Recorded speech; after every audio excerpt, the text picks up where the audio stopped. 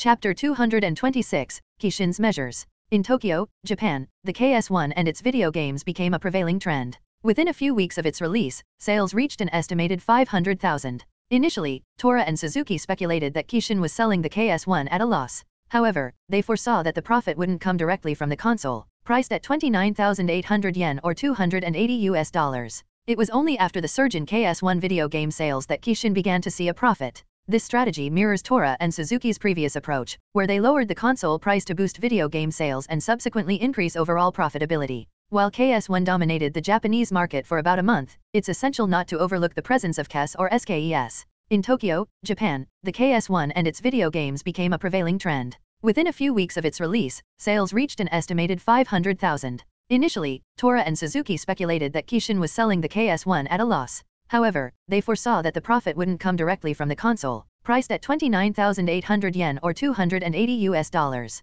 It was only after the surge in KS1 video game sales that Kishin began to see a profit. This strategy mirrors Tora and Suzuki's previous approach, where they lowered the console price to boost video game sales and subsequently increase overall profitability. While KS1 dominated the Japanese market for about a month, it's essential not to overlook the presence of KES or SKES. Following the price reductions of KES and SKES, a broad audience, including those unfamiliar with video games, embraced the consoles. This led to a surge in Kishin video game sales for KES and SKES, and the undeniable profitability of these platforms. Some newcomers to gaming, who initially lacked time or were hesitant to spend extensively, discovered the allure of video games after the price drop for KES and SKES, providing them the opportunity to delve into Kishin's gaming offerings. Initially skeptical, these individuals, now immersed in gaming, found that the enthusiasm of video game fans was not exaggerated. Remarkably, despite using the older KES or SKES and not the latest Kishin console, KS1, they found genuine enjoyment in gaming. Dash. Simultaneously, KS1 video games, particularly Resident Evil, garnered significant attention within the gaming community. It was genuinely terrifying. Some players, caught in the intensity, couldn't help but exclaim, Yabai. Dash. In various arcade sections, KS1-based arcade machines found their place within weeks of the KS1 release. The Resident Evil and Kishin All-Stars Racing arcade machines garnered considerable attention. Ha ha ha, I loved Sonic's skill, running with his car. A young man remarked to his friend, currently engrossed in Kishin All-Stars Racing. His friend, still playing, smiled and replied, honestly, Sonic could just step out of the car and easily outpace the racers, hee hee. As per the Sonic the Hedgehog story manual, he can move so swiftly, ranging from 300 to 767 miles per hour, surpassing the speed of any cars in the video game. The arcade was bustling with people, and with the gradual rise in popularity of video games, arcades in various stores and malls expanded as well. Upon the release of Kishin's latest video game console, anticipation lingered for the introduction of corresponding arcade machines. As expected, within a few weeks, Kishin delivered new arcade machines tailored to their cutting-edge console. Currently, within the arcade section, each line is dedicated to KS1 arcade machines featuring specific video game lineups. The arrangement consists of a line of KS1 arcade machines running a particular KS1 video game lineup together, while another set of KS1 arcade machines, featuring a different video game, has its own distinct line with just a bit of space in between.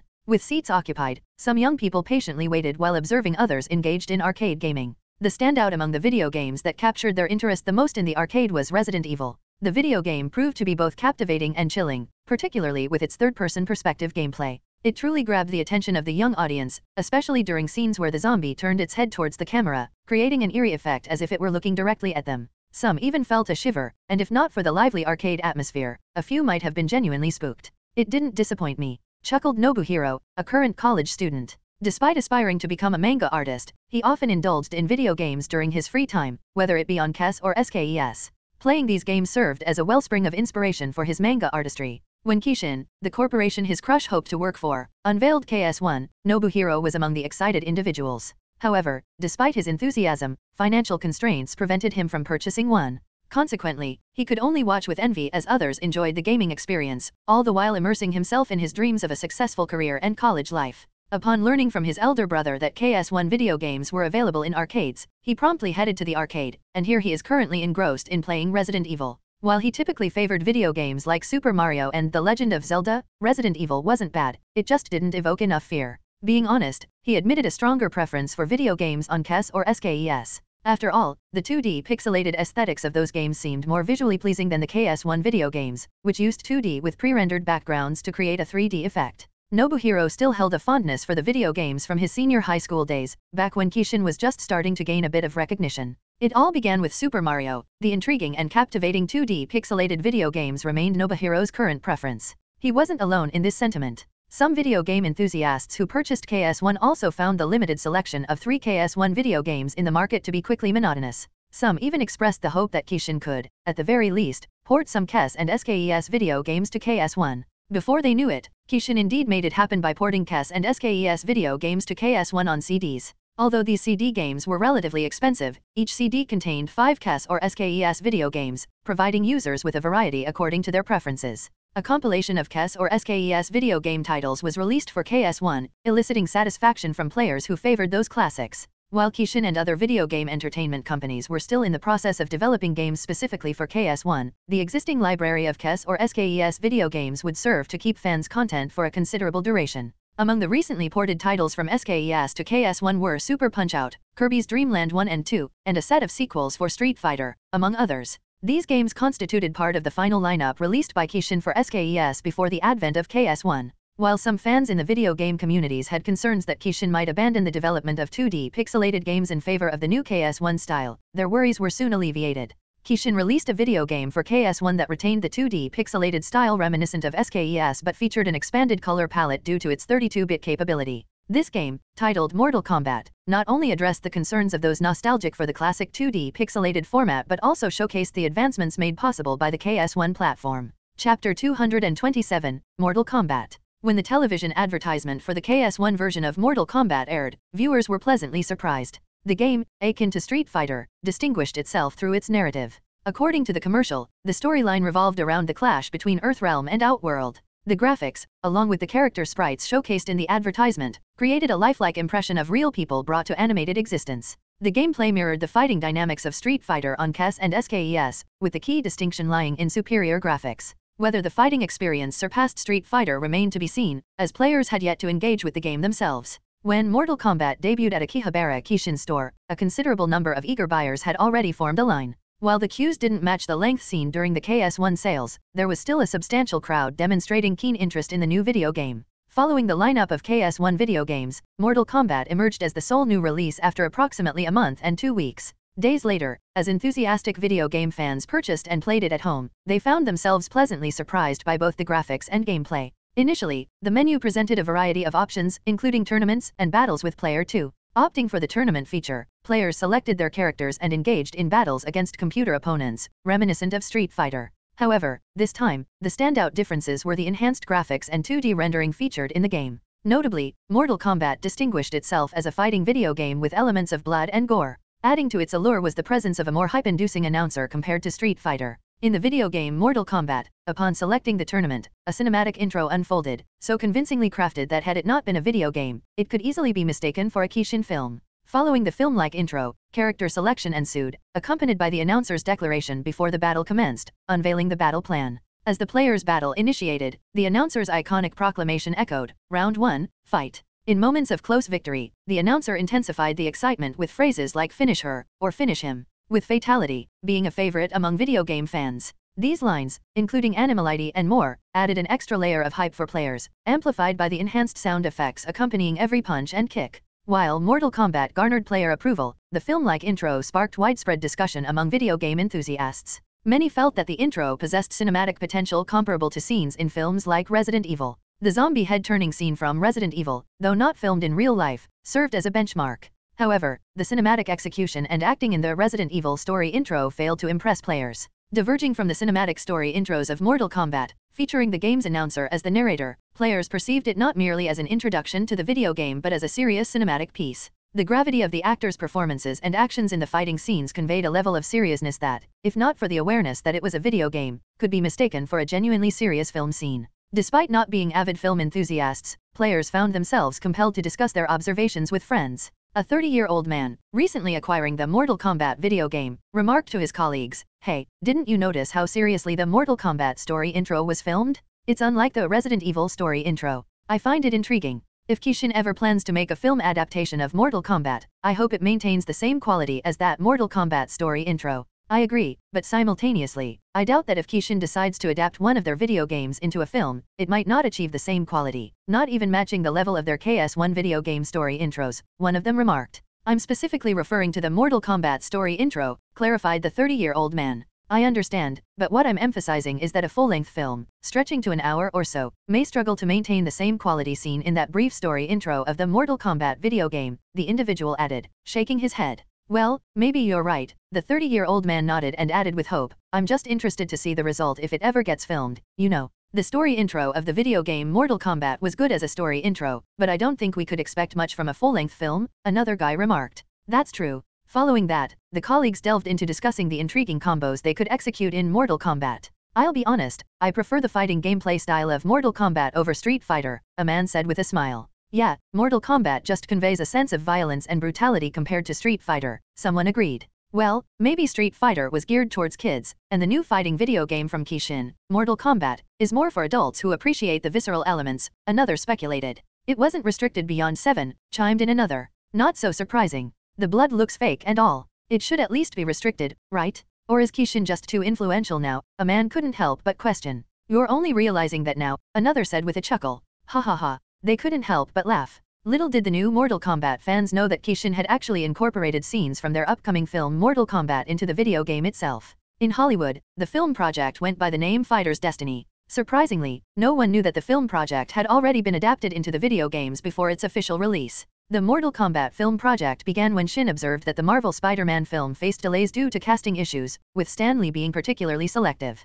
After Shin granted Stan Lee the authority to cast the main actors, Lee took the task seriously, displaying a meticulous approach. During this time, Shin invested in studios equipped with green screens and film production resources. Given the nature of Marvel's requirements, many scenes would likely involve costly CGI. Chapter 228, Cadabra. After the release of KS1 in Japan, video game enthusiasts in the United States were just discovering its existence. Damn it! Why didn't the media cover the release of KS1, the latest video game console from Kishin? A blond man slammed his hand into the wooden table in frustration. Well, I'm not really blaming the media, but rather Kishin. They only decided to announce now that their latest console has been released in Japan, another person said, trying to calm his blonde friend. Actually, a friend of mine mentioned that KS1 and its video games were featured in some gaming magazines. Although I enjoy video games, I rarely buy gaming-themed magazines, I prefer the more matured ones, added a black-haired man. I feel the same way, their chubby friend chimed in, bringing a moment of silence. Later, one of the guys broke the quiet by saying, even if we were aware of Kishin's latest video game console, the KS1, it wouldn't have mattered since it wasn't available in the USA yet.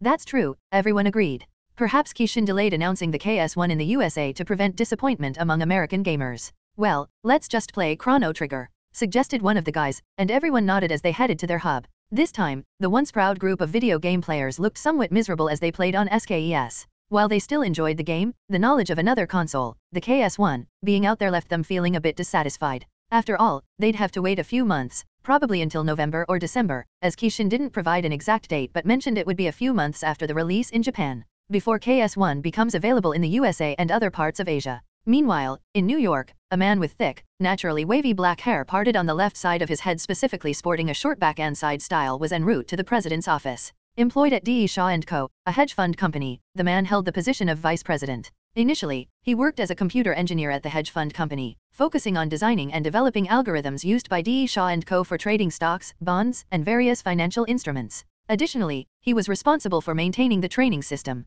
Impressed by his skills, the higher UPS were satisfied, leading to a salary raise. Over the years, the man ascended through the ranks, ultimately reaching the position of vice president. However, the man sensed that something was missing. Although his current role at the company involved easier tasks than before, focusing on strategizing for the company, he harbored personal ambitions and dreams. With the advent of the internet, the man foresaw its potential, sparking a compelling idea that consumed his thoughts. As the idea lingered in his mind, he found it difficult to sleep at night. Despite jotting down his thoughts on paper, he initially believed it would suffice to bring him peace. Yet, after a few days, the idea persisted, and he couldn't ignore it any longer. Realizing that his subconscious mind was signaling something crucial, he understood that a mere plan on paper wouldn't be enough. Actions were required to bring his idea to fruition. Hence, he found himself on the way to the president's office, intending to submit a resignation letter. After knocking on the door and entering his boss's office, the president, named David E. Shaw, was in the midst of organizing the company's portfolio. David looked up and identified his talented employee, furrowing his brows but asking, Oh, Vice President Jeff, what brings you here?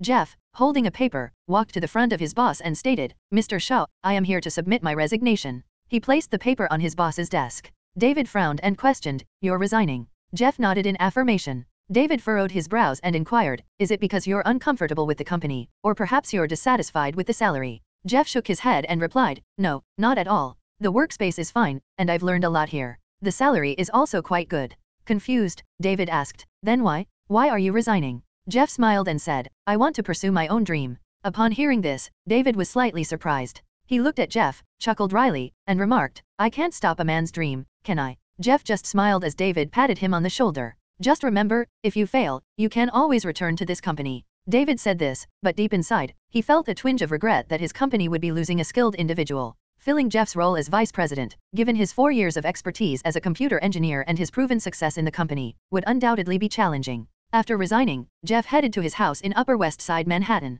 Upon arriving home, he shared his plan to start a company with his wife. His wife, currently juggling various part-time jobs despite being an experienced novelist and researcher, had some of her books published by a bookstore named Rookie, which offered better deals than most others. I'm thinking of building a website, specifically an online bookstore, Jeff explained to his wife. Scott nodded, furrowing her brows, and responded, okay, but I don't think it's such a unique idea. There have been several online shopping platforms, and that isn't limited to books alone. Jeff smiled and explained, I know, but that's not the point. The goal is to gather data on customer preferences whether it's their information, preferred books, or even their ideal prices, etc. My plan isn't just to create an ordinary online bookstore, rather, it's to build a framework with a data algorithm that predicts customer preferences. With that, we could enhance the overall customer experience. Upon hearing her husband's ideas, Scott felt that his concept was innovative and unique. While online shopping was already established on the internet, she doubted whether other companies had incorporated such a sophisticated data algorithm into their frameworks. What do you plan to name your company?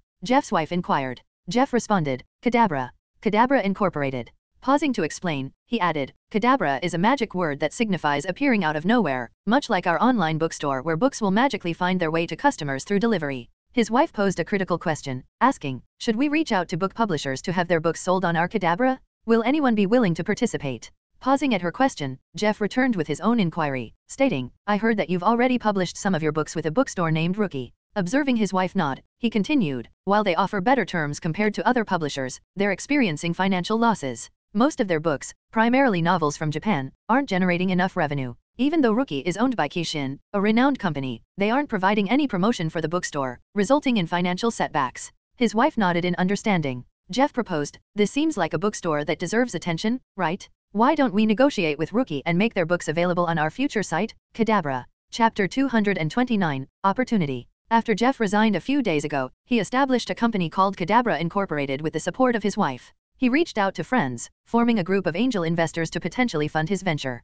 Following this, they initiated discussions with Rookie Bookstore to explore the possibility of featuring their books on the online platform they envisioned. Jeff and his wife visited the Rookie Bookstore in Manhattan. While the bookstore appeared typical at first glance, it stood out with its exceptional cleanliness and a Japanese word, Rookie, displayed on the board. This bookstore seems to embody the precision and orderliness of Japanese culture, Jeff remarked. His wife agreed with a nod as they entered, perusing the new releases, bestsellers, and staff picks on display. Inside, a central aisle connected various sections throughout the store. After Jeff resigned a few days ago, he established a company called Cadabra Incorporated with the support of his wife. He reached out to friends, forming a group of angel investors to potentially fund his venture. Following this, they initiated discussions with Rookie Bookstore to explore the possibility of featuring their books on the online platform they envisioned. Jeff and his wife visited the Rookie Bookstore in Manhattan. While the bookstore appeared typical at first glance, it stood out with its exceptional cleanliness and a Japanese word, rookie, displayed on the board. This bookstore seems to embody the precision and orderliness of Japanese culture,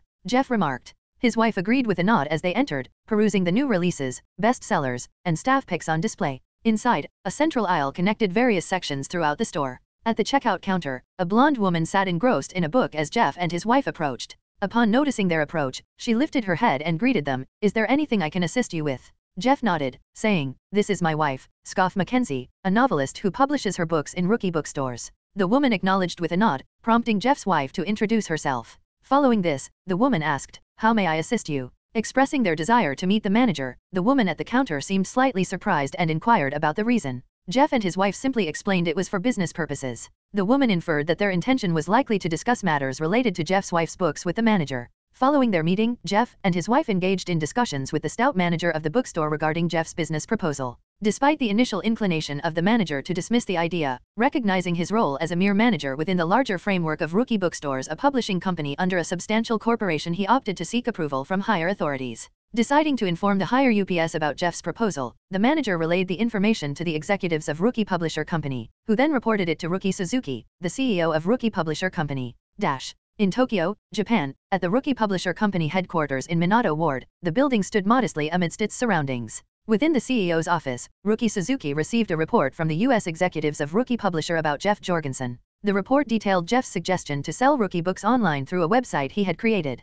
She found Jeff's idea intriguing, yet concurrently believed it prudent to consult with her fourth brother. Considering that Shinro Suzuki's company was the parent company of Rookie Publisher Company and also provided funding for her own company, her decision to discuss the matter with him was logical. Notably, Shinro Suzuki had founded Rookie Publisher Company and appointed her as CEO, a decision that had initially left her perplexed. Dialing her fourth brother's number, she scrutinized the information on her computer sent by the executives via the internet the file being Jeff Jorgensen's proposal. Dash. At Kishin Rule's headquarters, Shin conveyed his ideas on a whiteboard to a group of attentive game developers seated around a round table, diligently taking notes on Shin's words regarding the video game direction plan portfolio. Midway through this discussion, Shin's phone interrupted the meeting with a ring. Oops. Excuse me, guys, Shin said, retrieving his phone from his pocket. He distanced himself before answering the call. Hello, Sister Rookie. Shin inquired as he picked up the phone. Fourth brother, I called you regarding. Rookie began, explaining the situation to Shin. Listening attentively, Shin became somewhat astonished as he learned about a man proposing to feature Rookie Bookstore books on a website for online sales.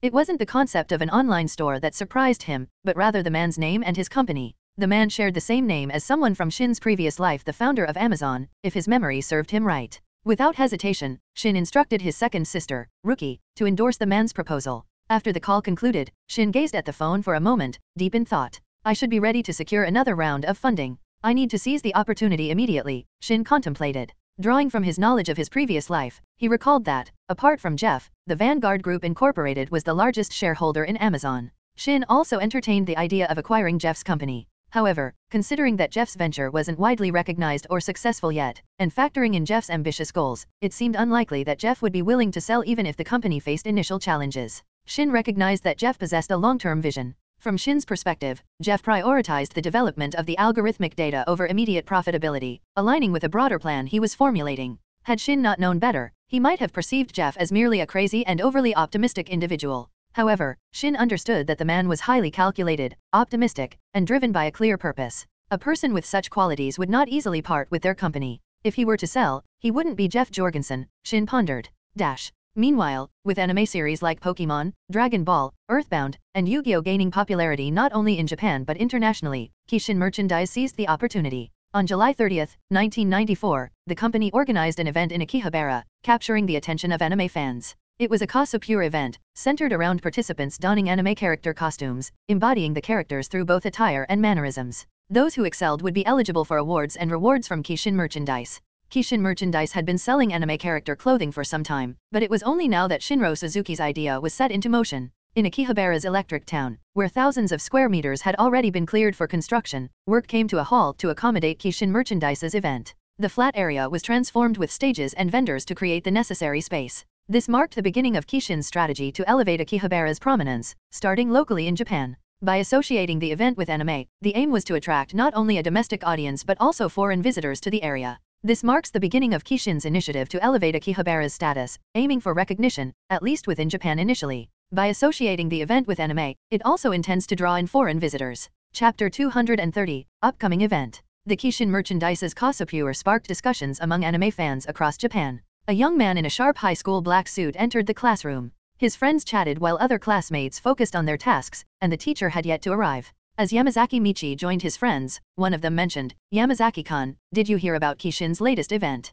Perplexed, Yamazaki Michi responded, event. He furrowed his brows and asked, is it a video game tournament? His friend, Nato Sango, shook his head. No, it's about anime. Anime. Yamazaki Michi sounded confused. Nato Sango nodded. Exactly. It's about dressing up and embodying characters from Kishin's popular anime. As an anime fan, Yamazaki Michi was astonished. An event where you dress as a Kishin anime character. Nato Sango and his friends nodded in confirmation. He continued, that's right. If you dress better and portray the character well in the competition, you might even win awards and rewards. Isn't it interesting, Yamazaki-kun? The event kicks off on August 3, 1994. I'll be dressing up as Yuji Muto from Yu-Gi-Oh! Then I'll be Honda. Yamazaki Michi and Nato Sango overheard their friends already discussing their roles and anime costumes. The most popular character will probably be Yuji Muto, and both Yamazaki Michi and Nato Sango preferred Yuji Muto too. Why are most of us choosing Yuji Muto? Yamazaki Michi couldn't help but ask with a wry chuckle. Nato Sango smiled and said, Do we need to ask? Because he's cool. A bullied young man being cool? Haha. One of their friends, a Pokemon fan, mocked with a chuckle. You didn't watch Yu-Gi-Oh, did you? Another one of Yamazaki Michi and Nato Sango's friends remarked. Nah, I watched it, but the main character's hairstyle is a bit much. You're judging Yu-Gi-Oh? Because of a hairstyle. Of course not. Pokemon is just better. Better? No, I think Yu-Gi-Oh! is better. It has a dark tone from the first episode alone. Just because it has a dark tone doesn't mean it's better. Pokemon is much better and also more popular, alright. Being popular doesn't mean it's better. And besides, just wait for a few more years, and everyone in the world will have heard of Yu-Gi-Oh! Yeah, dream on. Yamazaki Michi and Nato Sango looked at each other and wryly chuckled as their friends engaged in another debate on which anime is superior. In Yamazaki and Nato Sango's opinion, Yu-Gi-Oh! surpasses Pokemon and delves into mature themes, such as an episode where the main character, Yuji Muto, faces discipline from a strict leader, Ushio. The portrayal of self-righteous figures like Ushio reflects realities in some Japanese schools. While rumors connect school bullies to the Yakuza, the speculation holds a grain of truth, adding an intriguing layer to the narrative. The anime's main character, Yuji Muto, serves as an inspiration to Japanese youth, resonating especially with those in Tokyo who share a love for games. Given that Yuji Muto's family owns a game shop, some Yu-Gi-Oh! fans speculate that Shinro Suzuki based the character on himself.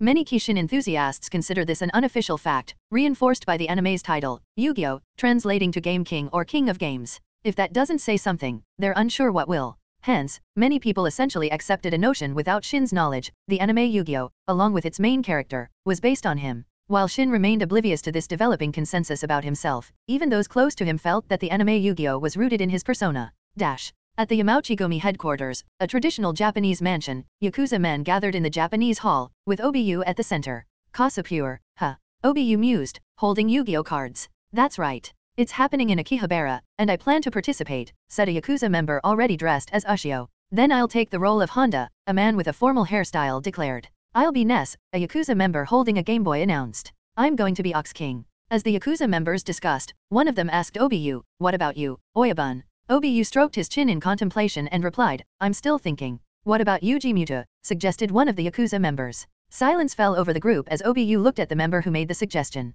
He then stated, Are you ignorant? Yuji Muto is the character I will not take, and none of you should either. Ah, is it because Yuji Muto's character is weak and not manly at all? The Yakuza member named Ryaji, who made the suggestion, couldn't help but ask. Being new to the Yamauchi-gumi meeting, he was unfamiliar with the dynamics. Most Yakuza members looked at Ryaji, some shaking their heads. Obiyu turned his gaze towards Ryaji and slammed his hand on the table. Of course not because he is weak. Besides, he wasn't entirely weak. Yuji Muto, especially Yami Yuji, is the character I admire the most. Eh, then, why? Ryaji couldn't help but ask. Obiyu locked eyes with Ryaji and explained, it's because Yuji Muto, especially Yami Yuji, is based on the king of games himself, the Kishin-sama Shinro Suzuki. Observing Ryaji's confusion, Obiyu continued, the Yami Yuji seen in the first episode of Yu-Gi-Oh! I believe to be Shinro Suzuki's way of conveying his true and formidable character through Yami Yuji in the anime. As he explained, his tone carried a hint of excitement. The sentiment echoed among almost every Yakuza old member in the hall. Sato and Ryaji exchanged glances.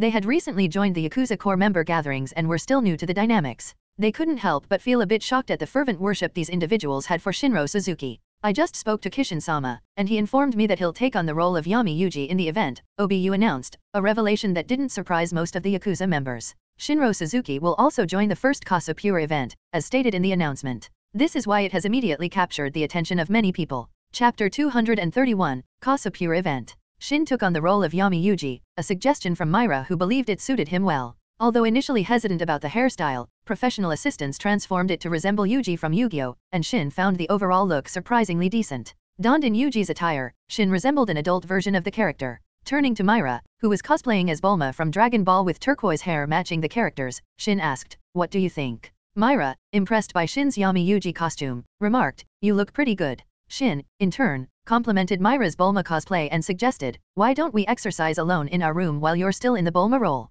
Myra blushed slightly upon hearing Shin's suggestion, nodding in agreement. All right, as long as you keep yours too, she replied, her gaze fixed on Shin, who was currently cosplaying as Yami Yuji. Shin chuckled at her response. Oh, you want me to cosplay as Yami Yuji as well, very naughty, he teased, prompting a blush from Myra as she playfully nudged him. Dash. On August 3, 1994, in Akihabara, on a flat, cleared space, the Kishin Merchandise Cosapure event unfolded. Vendors were set up, the venue adorned with decorations, and the Kishin stage drew a bustling crowd. Among the attendees were foreigners, a group of American friends chatting animatedly. Dressed as Kishin anime or video game characters, they noticed a Japanese person cosplaying as Misty. Intrigued, they commented, Guys, look, that guy's costume is Misty. The group admired the cute Japanese portrayal of Misty, with one of them expressing, Asians are so damn cute. Their attention then shifted to a Japanese woman confidently wearing Samus Aran's provocative Justin Bailey suit. Oh, the foreigners couldn't help but be visibly excited. Throughout the event, participants showcased costumes not only from anime characters but also from renowned Kishin video games like Super Mario, The Legend of Zelda, featuring characters like Link or Zelda, among others. The most captivating sights were the fit and beautiful Japanese women donning costumes of famous female characters from Kishin's anime or video games. Some Yakuza members maintained a low profile while showcasing their costumes, unaware that undercover police officers, also disguised as famous anime or video game characters, closely monitored them. Simultaneously, the TV Asahi team captured the lively event and its numerous participants, contributing to the bustling atmosphere among the thousands in attendance. Anticipation heightened as many eagerly awaited the appearance of Shinro Suzuki. Participants stayed committed to their role characters while the crowd eagerly waited. Then, a deep Japanese voice announced, Let's welcome Yami Yugi. Surprise rippled through the crowd as the announcer revealed the character name from Yu-Gi-Oh! However, their astonishment turned into cheers when Shinro Suzuki, embodying Yami Yugi with spot-on hair and costume, graced the stage. Oh, the Yu-Gi-Oh is here. AHH. Shrieks erupted from some girls and women enchanted by Shinro Suzuki's handsome appearance in the Yami Yugi attire. Entering his early 20s, Shinro Suzuki's face had matured, and consistent exercise sculpted his physique, giving him a more manly appearance. This transformation resonated with many women, who now found Shinro more appealing than ever. It's only 11 a.m., and you guys are already turning this place into a frenzy. Shin shook his head, but instead of dampening the excitement, his words only fueled the crowd's enthusiasm, especially as they listened to him speak and observed him up close on the stage. As most of the event participants were avid Kishin fans, some couldn't contain their excitement and shouted, Please marry me. Those standing near the enthusiastic individual felt a chill, realizing the person shouting was a man. Shin, too, experienced a slight chill but brushed it off, only to hear some women shouting, Please marry me. With a wry chuckle, holding the microphone, Shin responded, I'm already married, sorry to disappoint you. It's all right, one of the women shouted loudly, eliciting laughter from the crowd. Shin, unfazed, continued, cough, anyway, let us welcome Bulma Briefs. Confusion swept through the crowd as Shinro Suzuki introduced a woman walking onto the stage, a stunning figure adorned in Bulma's costume with turquoise hair. Some men couldn't contain their excitement, letting out roars. Observing the reactions, Shin addressed the audience, let me introduce to you guys, Myra Suzuki, my wife. Upon realizing that Shinro Suzuki was presenting his wife, Myra, to everyone, a hint of annoyance tinged the crowd's reactions. Shin, maintaining a smile, held Myra's hand as she smiled faintly. Boo. This is not real. It should have been me. Many women immediately voiced their disapproval, prompting laughter from Shin and Myra. Witnessing the couple's amusement, even some men grew annoyed. Following this, Shin and Myra introduced the competition games where participants could win awards and rewards. Each competition featured different activities, such as flawlessly portraying characters or showcasing the most beautiful and impressive costumes. Participants' appearances earned additional scores if they suited the character they were cosplaying. The crowd buzzed with excitement, knowing that winners of each competition could claim a reward of 100,000 yen if they secured first place. TV Asahi captured these moments for viewers watching at home. Idori Tanaka, along with Shin's brothers, Shiko and Seiki, tuned into the Cosapure event program out of curiosity. Observing the diverse characters being cosplayed in the crowd, they found it somewhat weird and intriguing. Observing the participants engage in the competition games where judges would score them, the judging panel consisted of special guests from Kishin, all professionals in the fields of fashion and design. As the competition unfolded, the judges, seasoned veterans in the clothing and fashion industry, experienced a sense of novelty. They found the act of individuals wearing anime or video game character costumes and imitating their hairstyles quite unique. While not an entirely new concept, as the idea of imitating others' clothes, hairstyles, and overall appearance has been present for years, the creativity displayed in this context intrigued them. Chapter 232, Conclusion After completing the side competition games, the Cosapure event's initial competition began, challenging participants to embody their cosplayed roles shamelessly. Many struggled with embarrassment, but a handful embraced their characters unabashedly. Surprisingly, the ultimate winner was a foreigner portraying Ash Ketchum, alongside his girlfriend cosplaying Pikachu. The Japanese middle-aged man in a Mario costume claimed first place, while Yugi Muto secured the second spot. I can't believe it. The foreigner took the win, remarked viewers at home, shaking their heads. Japanese. We get embarrassed so easily. Well, what can you expect from a group of video game geeks? Some households couldn't resist discussing it, with some feigning confidence in their ability to excel in the competition. However, if placed in the same situation as the Japanese cosplayers, they would likely succumb to embarrassment. They're still not used to it. Observed Shin, watching alongside Myra, who nodded in agreement. It's normal to feel embarrassed. We are Japanese, after all, Myra remarked. Well, they'll soon get accustomed to this. For now, let's see how they perform in the other games, Shin said with a wry chuckle. The foreigner cosplaying Ash Ketchum and his Latina girlfriend, cosplaying Pikachu, received a Casa Pure Masquerade Dramatic Performance Award along with KS1, video games, merchandise, and a 100,000 yen cash prize. Additionally, the first place winners received a monetary reward of 40,000 yen, KS1, and merchandise, while the second place winners earned 20,000 yen and merchandise. Damn, I didn't know there was a KS1 and video games reward besides the 100,000 yen. Well, we better perform well in the next competition. I'm confident I'll win the next competition that doesn't involve acting. I'll be content with 40,000 yen. As if you'll ever win first place. Some people couldn't resist discussing among themselves. Later, the next competition involved participants walking around the stage to showcase their cosplay costumes and strike poses like models. Many joined, thinking it would be easy, just strolling around. However, they were mistaken, as some walked, the crowd, including those cosplaying but not participating, couldn't help but laugh at their walking styles. Ha ha ha, what was that? He walked like a woman. That guy before him also walked like a penguin. Ha ha ha. Even the judges, who were fashion and design experts, couldn't help but shake their heads, while some joined in the laughter with the crowd. When female cosplayers appeared, some men in the audience couldn't help but whistle. The participating women cosplayers showcased a fit physique, embodying characters known for their allure from either anime or video games. Consequently, many young men in the crowd couldn't help but be enthralled. Shin, engrossed and stroking his chin in the room with Myra, received a pinch from her. He turned his head to Myra in confusion. What? Shin asked. Myra pinched him again and, pointing at the television screen, said, Are you so captivated by them? You look like you might devour them at any moment. Shin, taken aback, defended himself, saying, What are you talking about? I'm just watching peacefully here. Myra snorted, remarking, Yeah, peacefully watching females with most of their skin showing, especially close to their private parts, displaying their bodies for all to see. Shin couldn't help but feel helpless as he continued to explain to Myra, who eventually calmed down.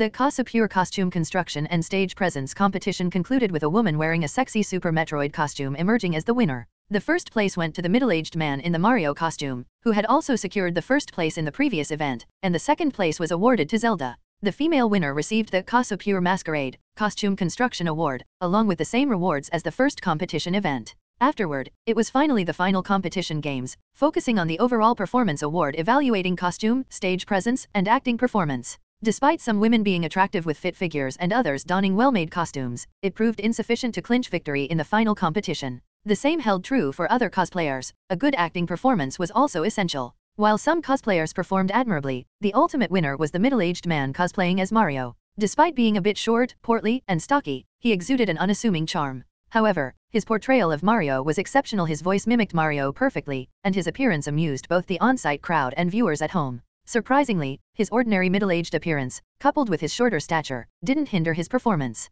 In fact, it enhanced his portrayal of Mario, as Mario shares a similar body type. His costume was also noteworthy, being the latest Mario attire from Kishin merchandise. With that, he secured victory in the competition, earning the coveted Casa Pure Masquerade Overall Performance Award. Additionally, he received a monetary prize of 100,000 yen and other rewards from Kishin merchandise. And so, the Casa Pure event competitions finally came to an end. Shin and Myra took the stage once more to express a few closing words. Despite the late hour and some attendees having already returned home, the venue remained vibrant with colorful lights. Good night, everyone. Thank you for participating in this event. Shin concluded after a series of remarks. Subsequently, he and Myra returned backstage to the room. We'll definitely come again if there's another event like this. It was so much fun. Please take me home, Shinro, shouted some women. Meanwhile, a group of young men who became friends during the event discussed among themselves. I hope I win next time. Me too. Just a first place, and I'll be satisfied. Yeah, same. Look, that guy won two first places and ultimately clinched the victory.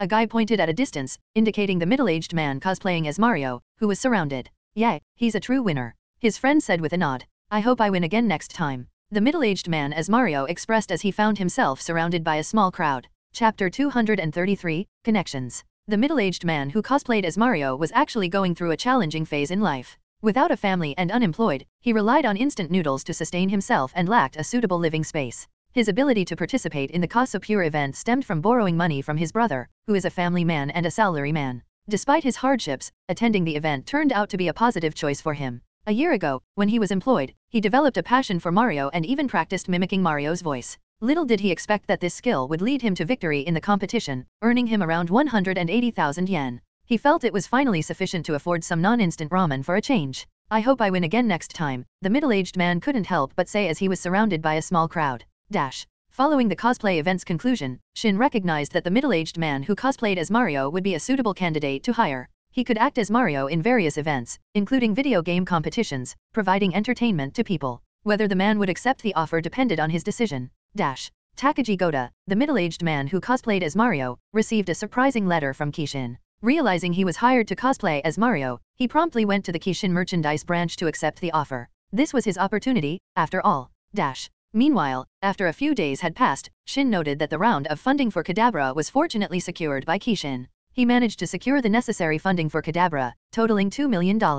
Given that Jeff was just starting, it wouldn't yield immediate profits. In fact, Jeff informed Oreo Masayoshi, the Kishin representative, that Cadabra Incorporated wouldn't be profitable in its early stages. Although Oreo Masayoshi struggled to comprehend Shinro Suzuki's plan once again, he faithfully followed Shin's instructions. Consequently, $2 million were invested, leaving Oreo Masayoshi feeling uneasy about what seemed like a substantial amount of money wasted. He couldn't fathom why Shinro Suzuki would be willing to spend such a significant sum on an ordinary online bookstore. To be frank, in Oreo Masayoshi's view, Kishin could have established its own online bookstore. Well, Oreo Masayoshi's perspective wasn't entirely off base. If Shin desired, he could have created his own Amazon. However, he lacked the same level of drive and time commitment as Jeff. Developing the algorithmic data framework of Amazon would be time-consuming, especially given that it relied on customer preferences on the internet. Considering the internet was still in its early stages with only several million users, and Amazon might only attract a hundred or even fewer visitors each day initially, success would take time. Only someone like Jeff, who was also successful in Shin's previous life, could propel Amazon to success. Jeff had the necessary dedication and time to invest. Dash. In late August in the USA, a trailer for the Mortal Kombat film aired on some TV channels. Initially, it didn't garner much attention. However, when people realized it was produced by Kishin Pictures, it caught the interest of many Jurassic Park fans. Given its theme of fighting and martial arts, some anticipated it to be reminiscent of Hong Kong films similar Jackie Chan and Bruce Lee films. The trailer even made its way onto some Disney channels. The other major film studios of the Big Six sensed that Walt Disney was establishing closer ties with Kishin. Why? Primarily because The Lion King had achieved monumental success. Some Disney executives themselves didn't hold much hope for the animated film. On its first day, the box office was only around a few hundred thousand dollars. However, they were surprised when, on the second day, it earned $5 million. The film continued to gain momentum in box office numbers as word spread. In just a month, The Lion King box office surpassed $100 million. Even some film studios among the big six were surprised since they knew that Disney hadn't put much effort into marketing The Lion King. Yet, it turned out to be a winner for the year. After about two months of screening, the animated film earned at least $296 million.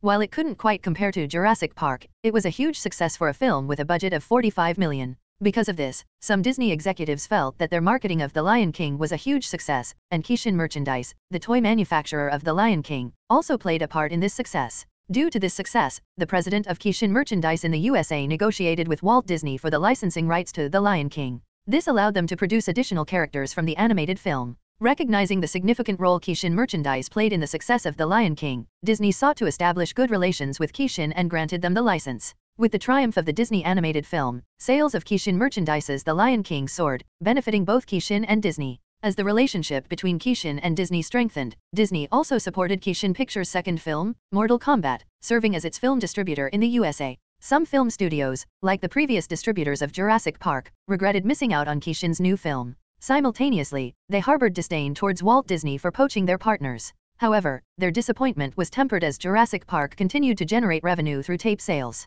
Now, with Walt Disney's backing in marketing Kishin Pictures' Mortal Kombat, an increasing number of people became aware of the second film from Kishin Pictures. Kishin's connections expanded further through a strong relationship with Walt Disney. Shin recognized Disney's expertise in film management, particularly in animated and hero movies. Disney's extensive network with talented directors and writers was perceived as valuable, especially for potential adaptations of Marvel Comics characters. Chapter 234 Risk The support from Walt Disney for Kishin's new film didn't sit well with the other major film studios, especially Warner Brothers and Universal Studios. They were uneasy about Kishin, a company they were not pleased with, gaining backing from Disney. Little did they know that Disney's higher UPS were merely toying with Kishin's ego. The executives at Disney were aware of the ambitious goals of Kishin Pictures' parent company, Kishin Rules. They assumed that Shinro Suzuki, the owner of Kishin, and other leaders within the company were likely proud individuals. As Kishin continued its global growth as a private company, Disney saw the value in establishing connections with Kishin, beyond the success of the Lion King film.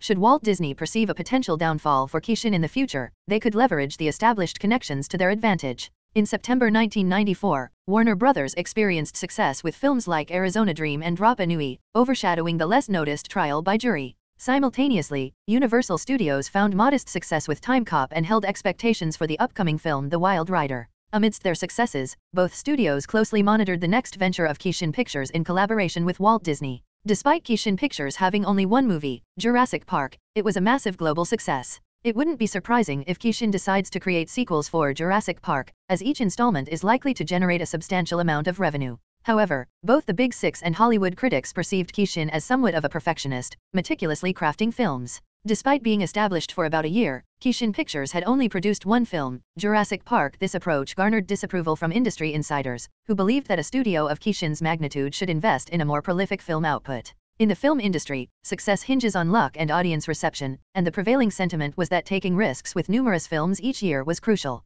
The Big Six studios understood the financial gamble inherent in filmmaking, yet they embraced it as a necessary risk to thrive in the industry. Conversely, Kishin's cautious and perfectionist approach was seen as a potential hindrance, risking its standing in the industry if it continued down this path. However, unbeknownst to them, Kishin Pictures, or Shin, was taking a financial risk with the production of Mortal Kombat. Despite the box office success of Mortal Kombat in Shin's previous life with a budget of $20 million, Shin opted to increase the budget for improved CGI, script enhancements, and better performances in the current iteration. Shin understood that merely replicating the previous Mortal Kombat film, including its scripts, cast performances, and relatively tame CGI with reduced violence, would likely yield similar box office results as in his previous life. However, Shin was determined to avoid such a scenario. Shin aimed to enhance the CGI, character scripts, and performances in the Mortal Kombat film, refusing to impose limits on the level of violence. Only by comprehensively elevating the film's overall quality did Shin envision the possibility of a different box office outcome. Despite the increased risk, Shin remained uncertain about the success of this approach.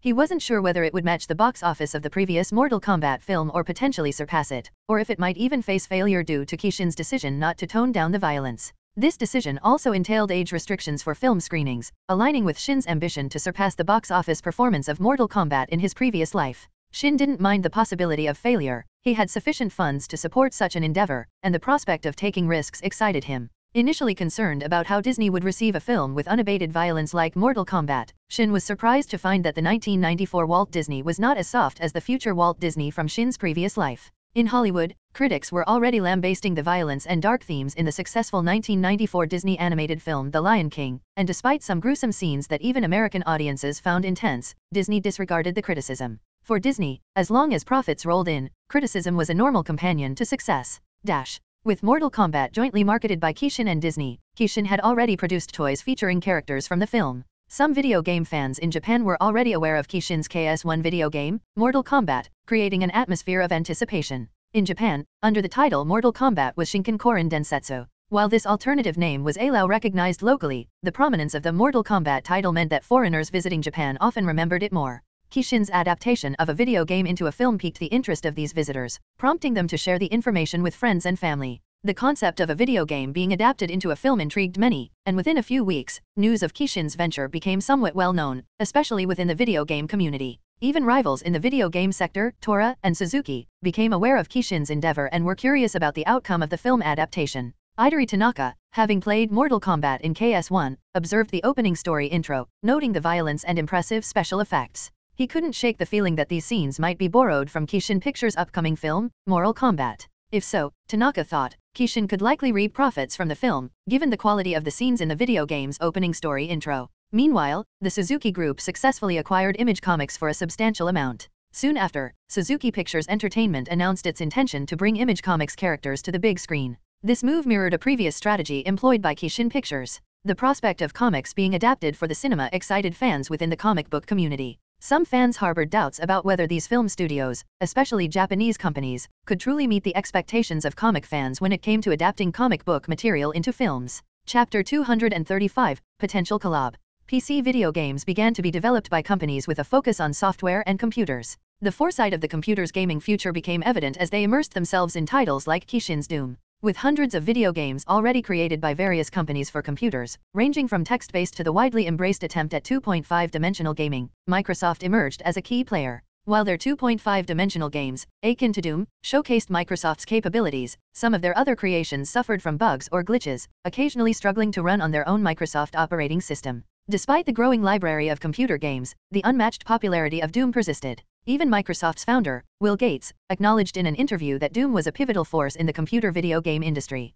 Interestingly, Gates expressed a desire for Microsoft to partner with Kishin, but unfortunately, they were already committed to a competitor. At present, Gates found himself invited for an interview and promptly accepted the opportunity without much hesitation. The interviewer posed diverse questions about computer technology and software advancement, exploring their potential impact on the world. When Will Gates was asked about the possibility of partnering with Kishin, he responded, Kishin is presently the major shareholder of Apple, as indicated by this year's shareholder lists report. So, I'm afraid it's not feasible. The interviewer chuckled lightly in response. In fact, as per the Securities and Exchange Commission, SEC, Kishin currently holds a significant stake in Apple, making it nearly implausible for them to form a partnership with a competitor of their supported company. After the interview concluded, Will Gates strolled out of the building and stepped into his luxurious black car when his phone suddenly rang. Hello, Will Gates answered, placing the phone to his ear. Is this Mr. Gates? inquired a deep yet rugged voice. Yes, Will Gates affirmed, adding, Who might you be? Confusion clouded his thoughts, especially considering he didn't recognize the caller.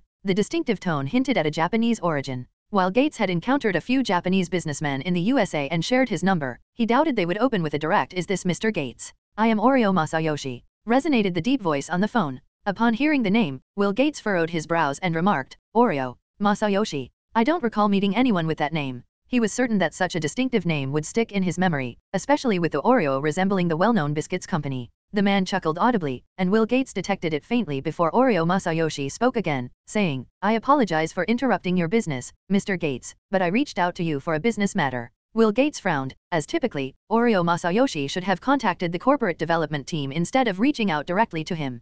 Well, if it's business related, our corporate team can handle the discussions, Will Gates remarked, his tone not too harsh or cold. He recognized that the Japanese man's ability to contact him directly suggested a level of influence or connections. In matters unrelated to business, he preferred not to offend anyone, regardless of their status. If that's the case, well, the corporate team would have been a suitable choice, but approaching you directly seemed like the better option, replied Oreo Masayoshi. Why is that? Will Gates grew more intrigued, glancing out of the car window as it sped along the road. Well, I'm sure you'll be interested in Kishin, Oreo Masayoshi said with a smile. He added, I'm from Kishin, and I called Mr. Gates to inquire whether you are interested in video game development. Will Gates was taken aback, responding, You're from Kishin. Upon Oreo Masayoshi's confirmation, he couldn't help but inquire, regarding video game development. Can you provide me with the details? At this moment, a hint of excitement colored his words. Will Gates and Oreo Masayoshi delved into a lengthy phone discussion, during which Will Gates was astonished to learn that there was a possibility of cooperation between Kishin and Microsoft.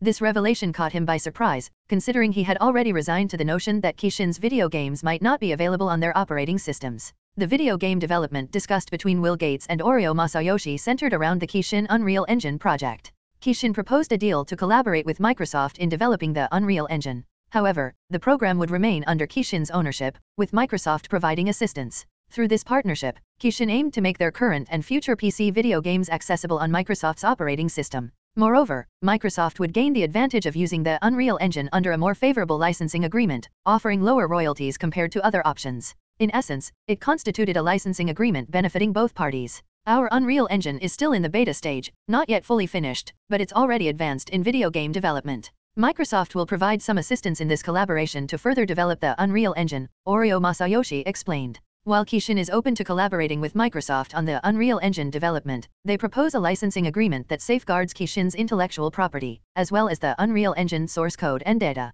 Breaking such a contract would not be in Microsoft's best interest, considering the Unreal Engine includes proprietary code protected by copyright and other intellectual property laws. Additionally, the presence of obfuscated code makes it challenging for other companies to comprehend, rendering any potential leak essentially useless unless Kishin provides assistance. The licensing agreement extends Microsoft the privilege to use the Unreal Engine for its products and services. Although Will Gates isn't particularly keen on video game development alone, he finds himself genuinely excited and intrigued by Kishin's proposal. Chapter 236, Premiere In Japan, around October, Kishin Pictures showcased the Mortal Kombat trailer in Tokyo, surprising numerous video game enthusiasts. While the term Motoru Konbato was familiar to the Japanese, the game was known as Shinkankuren Densetsu outside Tokyo. However, Motoru Konbato gained more prominence in Tokyo. Thus, when fans witnessed the Mortal Kombat trailer on television, excitement ensued among video game enthusiasts. The game had become a favorite alongside Street Fighter, gradually surpassing its popularity in Japan. The allure of Mortal Kombat lay in its exhilarating gameplay, featuring graphic violence. Despite its unrestricted access for those aged 7 and above, the pixelated and cartoon-like portrayal of blood and gore, coupled with less disturbing sound effects, contributed to its wide acceptance. During this time, the Japanese imposed minimal restrictions on anime or video games, unless they involved gambling or had a detrimental impact on children. As Mortal Kombat was perceived as an unrealistic fighting game akin to Street Fighter, it didn't raise much concern among the populace. During this period, Japan grappled with an ongoing economic recession, prompting the government to tread lightly on the video game industry, recognizing its modest contribution to economic recovery. In a particular household, a young man reclining on the sofa, fixated on the television, couldn't help but remark, I never expected Kishin to consider adapting their video game into a film. Not particularly a video game enthusiast, he preferred staying home to indulge in occasional anime TV shows or films. The anime landscape had evolved, with Kishin animes no longer standing as the sole option. While Kishin boasted the most popular and captivating anime, other studios had begun to innovate, drawing many newcomers into the anime industry. Tora and Suzuki were genuinely grateful to Kishin for inspiring their entry into the anime industry, driven by the success of Pokemon. Their timing was opportune, as they joined the industry in its early stages, now witnessing its evolution into a highly profitable sector. In the current scenario, the Japanese video game community buzzed with anticipation following the release of the Mortal Kombat trailer. The film is set to premiere in the USA, followed by a nationwide screening for two weeks before reaching audiences in Japan. Video game enthusiasts, in particular, were keen to see how the adaptation from a video game would unfold on the big screen. Many who weren't avid video game fans assumed that it would turn out poorly, as adaptations from inherently unrealistic series often end up as disappointments. On October 12, 1994, in the USA, the film Mortal Kombat had its first premiere in New York. The theater buzzed with activity as the media and the crowd warmly welcomed the cast of Mortal Kombat, who were then interviewed by reporters. Subsequently, they entered the cinema and took their seats. Among the audience, several film critics were present, eagerly awaiting the latest offering from Kishin Pictures. It would be dishonest to say they had no expectations, in reality, they were anticipating Kishin to deliver a quality film, especially after the success of Jurassic Park they hoped Kishin would surpass their expectations. Some were aware that Mortal Kombat was a video game adaptation from Japan, leading them to temper their expectations. They understood that adaptations, be it from novels or comics, could fall short if they diverged from the expectations of fans of the original source material. The realm of film adaptations, especially those based on video games, is largely uncharted. Consequently, some film critics, aware of the movie's video game origins, harbored low expectations and even anticipated it to be subpar. As they contemplated, the cinema screen brightened, unveiling the Kishin intro. This time, the intro was rendered in 3D animation, a notable improvement from previous versions. The animation portrayed a boy holding an umbrella on a dark, rainy grassland night. The wind whisked away the umbrella into the sky where stars and clouds converged to form the word Kishin. The umbrella then floated between the K and S, ultimately shaping the word Kishin, accompanied by a picture drifting beside the logo. Many recognized it as the distinctive mark of Kishin Pictures. The audience was thoroughly impressed the animation surpassed the intro of Kishin in the film Jurassic Park. Following that, the Walt Disney introduction followed suit, also animated but incomparable to Kishin's breathtaking 3D animation. Certain audience members, including film critics and computer experts, sensed that Kishin's strides in graphics development outpaced others. Little did they know that the animations were primarily crafted by Pixar, in collaboration with Kishin's CGI company and motion capture company. Following the introduction of the production and distribution details, Mortal Kombat finally commenced. It opened with a fiercely realistic display of fire, accompanied by the resounding strikes of a hammer against metal, and the iconic music theme from the Mortal Kombat video game. Though the music's 16-bit resemblance was noted by the audience, their attention shifted as the hammer's clang grew more pronounced. The metal dragon emblem of Mortal Kombat emerged from the fiery furnace before settling onto stone. A hand holding a hammer descended upon it, and the camera captured the emblem being returned to the blazing furnace. Inside, the dragon emblem, Mortal Kombat logo, was engulfed in flames, creating a remarkably realistic scene. As the music theme subsided, the screen gradually darkened, transitioning to a temple-laden environment shrouded in dark clouds. On the stage arena, two figures stood a young man and a towering, menacing counterpart. The audience felt the tension rise with the accompaniment of intense music.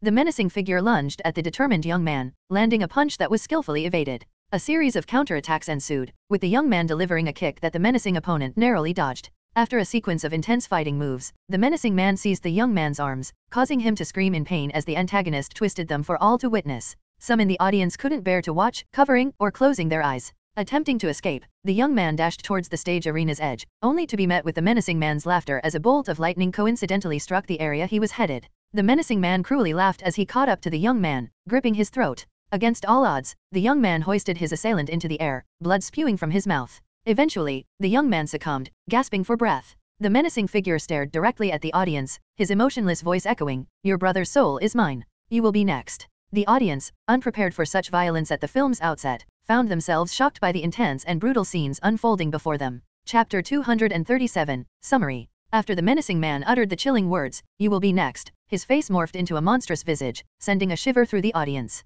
The unsettling moment lingered briefly before transitioning to a scene featuring an Asian man sitting on a bed, his expression reflecting shock. As the scene unfolded, the audience grasped that the initial sequence was nothing more than a dream. Nevertheless, it commenced with a powerful yet strikingly violent scene. The man with sharply defined yet thick eyebrows left a lasting impression on viewers. Many had encountered such a character in Hong Kong films, where individuals of similar appearance often played menacing roles. Film critics acknowledged the effectiveness of these antagonist archetypes in martial arts Asian movies, although they acknowledged that such portrayals could sometimes verge on cliché. As the film unfolded, a character emerged, reminiscent of Terminator, as one of the guy's eyes appeared cybernetic. Subsequently, Sonya Blade, armed with guns, engaged in a firefight. The echoing gunshots scattered the bustling crowd as she adeptly took down a man aiming at her. Approaching the fallen adversary, she swiftly searched his body for a wallet, a phone, and more. However, none of the man's belongings provided the lead Sonya Blade needed in her investigation. Based on the dialogue preceding the scene, the audience inferred that the skilled woman was likely searching for the Terminator-like character, Kano. Continuing the story, the antagonist, named Shang Tsung, assumed a deceptive guise as an elderly American man to entice Hollywood star Johnny Cage into a tournament. The transformation effect of Shang Tsung appeared remarkably realistic, thanks to the meticulous and advanced CGI and 3D animations by Kishin. Meanwhile, the main character, Liu, entered a temple in China. With mysterious origins, he possessed white hair, blue eyes that flickered like lightning, and wore a bamboo hat. Liu engaged in conversation with an old monk. As the narrative unfolded, it revealed a tournament taking place in the outer world. The man in the temple, concealed by a bamboo hat, with white hair and magical eyes, turned out to be a god of thunder and the protector of the earth realm. As the audience immersed themselves in the narrative, they were particularly impressed by the film's special effects and CGI. The storyline revolving around a tournament in the outer world captured their interest. The fight scenes were both intense and brutal, featuring moments like a mob member being kicked in a particularly sensitive area. The cast's combat against the antagonist forces stood out for its uniqueness, resembling a Jackie Chan movie. The choreography avoided stiffness, maintaining a natural and well-paced flow. Movements in the fight scenes were not only smooth but also carried a sense of brutality. Unbeknownst to many, Kishin had actually invited Jackie Chan for suggestions on the fight scenes. While Chan didn't direct the film, his valuable ideas and input significantly enhanced the creativity in the Mortal Kombat fight sequences. The plot of the film Mortal Kombat unfolded to be much more intricate and captivating than audiences initially anticipated. The seemingly invincible antagonist turned out to be a subordinate of the Outer World Emperor, and Shang Tsung, once perceived as the ultimate threat, was revealed to be a sorcerer. Shang Tsung manipulated the forces of the outer world to confront Liu, Johnny Cage, and Sonya Blade, aided by the God of Thunder, Lord Raiden.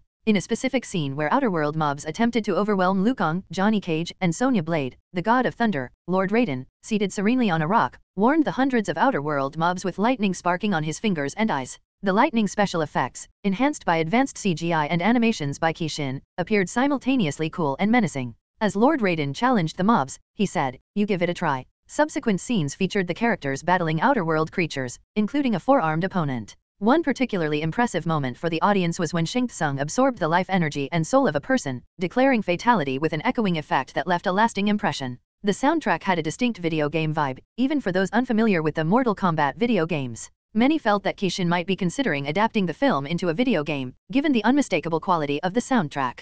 Dash. As the Mortal Kombat film premiered in New York, the collaboration between Kishin and Microsoft was officially sealed. Will Gates himself was genuinely pleased with the collaboration, as Kishin expressed willingness to make their PC video games available on the Microsoft operating system. Furthermore, he eagerly anticipated Kishin's upcoming video game that promised to redefine the landscape of PC gaming. The game was set to be released on both Apple computers and Microsoft OS, bearing the title Warcraft, Orcs and Humans. Will Gates found his excitement justified after playing the game and discovering its real-time strategy, RTS, nature. Impressed by the gameplay, he and his friends were convinced that Warcraft, Orcs and Humans had the potential to revolutionize computer video games, akin to the impact of the game Doom. Simultaneously thrilled and curious, Will Gates and his friends harbored a desire to meet Shinro Suzuki, as Oreo Masayoshi had asserted that Suzuki was the visionary behind these innovative ideas. Anticipating the release of the new Kishin PC video game, they foresaw another pleasant surprise for the burgeoning community of PC gamers. Although the PC gaming community was smaller than its console counterpart, industry experts believed in the greater potential of computer gamers.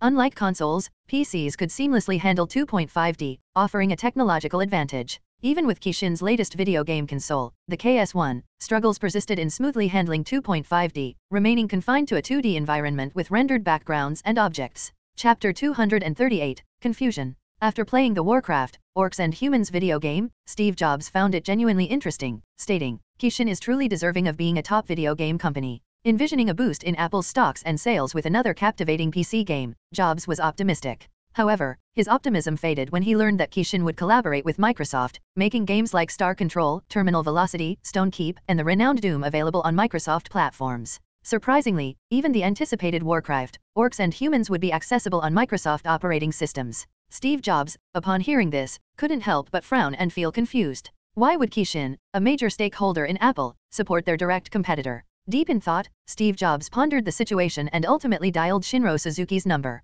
As the phone rang, he found himself nervously tapping his office desk. After what felt like an eternity, the call connected, and Shinro Suzuki's voice came through, saying, Veg I mean, Jobs, what's up? Dash. Meanwhile, in his office immersed in a game of Doom 2, Shin almost dubbed Steve Jobs Veggie Man but thankfully caught himself in time. After all, Jobs had been a legendary innovator in his past life. Wondering why Steve Jobs had chosen to call him, Shin heard Jobs' voice saying, Suzuki, I just learned that Kishin has collaborated with Microsoft. Upon hearing this, Shin smiled, faintly expecting Jobs to reach out. He replied, Oh, so you heard about it. Dash. In the CEO office at Apple headquarters, upon personally confirming Shinro Suzuki's words, Steve Jobs couldn't help but exclaim, I never thought that you would collaborate with Microsoft.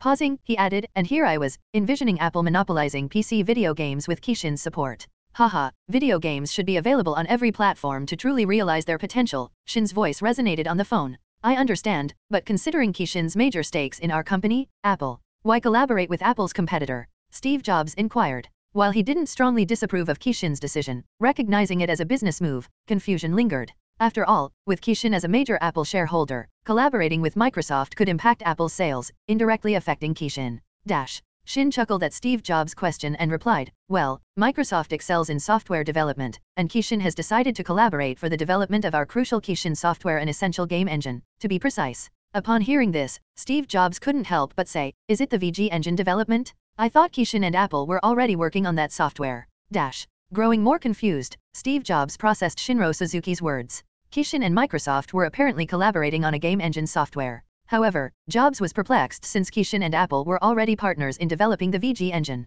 While details of the collaboration weren't disclosed, Jobs deduced that, based on Suzuki's words, the only advanced game development software was the VG engine. What other game engine software could they be developing? Dash. Shin realized Steve Jobs had misunderstood the game engine software situation, as Jobs wasn't aware of Kishin's Unreal Engine game engine project beyond the VG engine. So, Shin immediately clarified, saying, No, it's not the VG engine game engine software you're thinking of. He paused before adding, it's another ongoing project of Kishin, the Unreal Engine. In fact, Unreal Engine started before VG Engine, and much of the source code and functions of VG Engine were inspired by our ongoing project, Unreal Engine. Dash. Upon hearing Shinro Suzuki's explanation, Steve Jobs was slightly surprised. I didn't know that. So, it was another game engine software, and this one came before VG Engine. Then Shinro Suzuki's voice chimed in, that's right. And before Unreal Engine, there was the Doom Engine. You could say it's the evolution of Kishin's game engine software development, hee. Steve Jobs finally grasped the situation. I see. So Kishin collaborated with Microsoft for the development of Unreal Engine.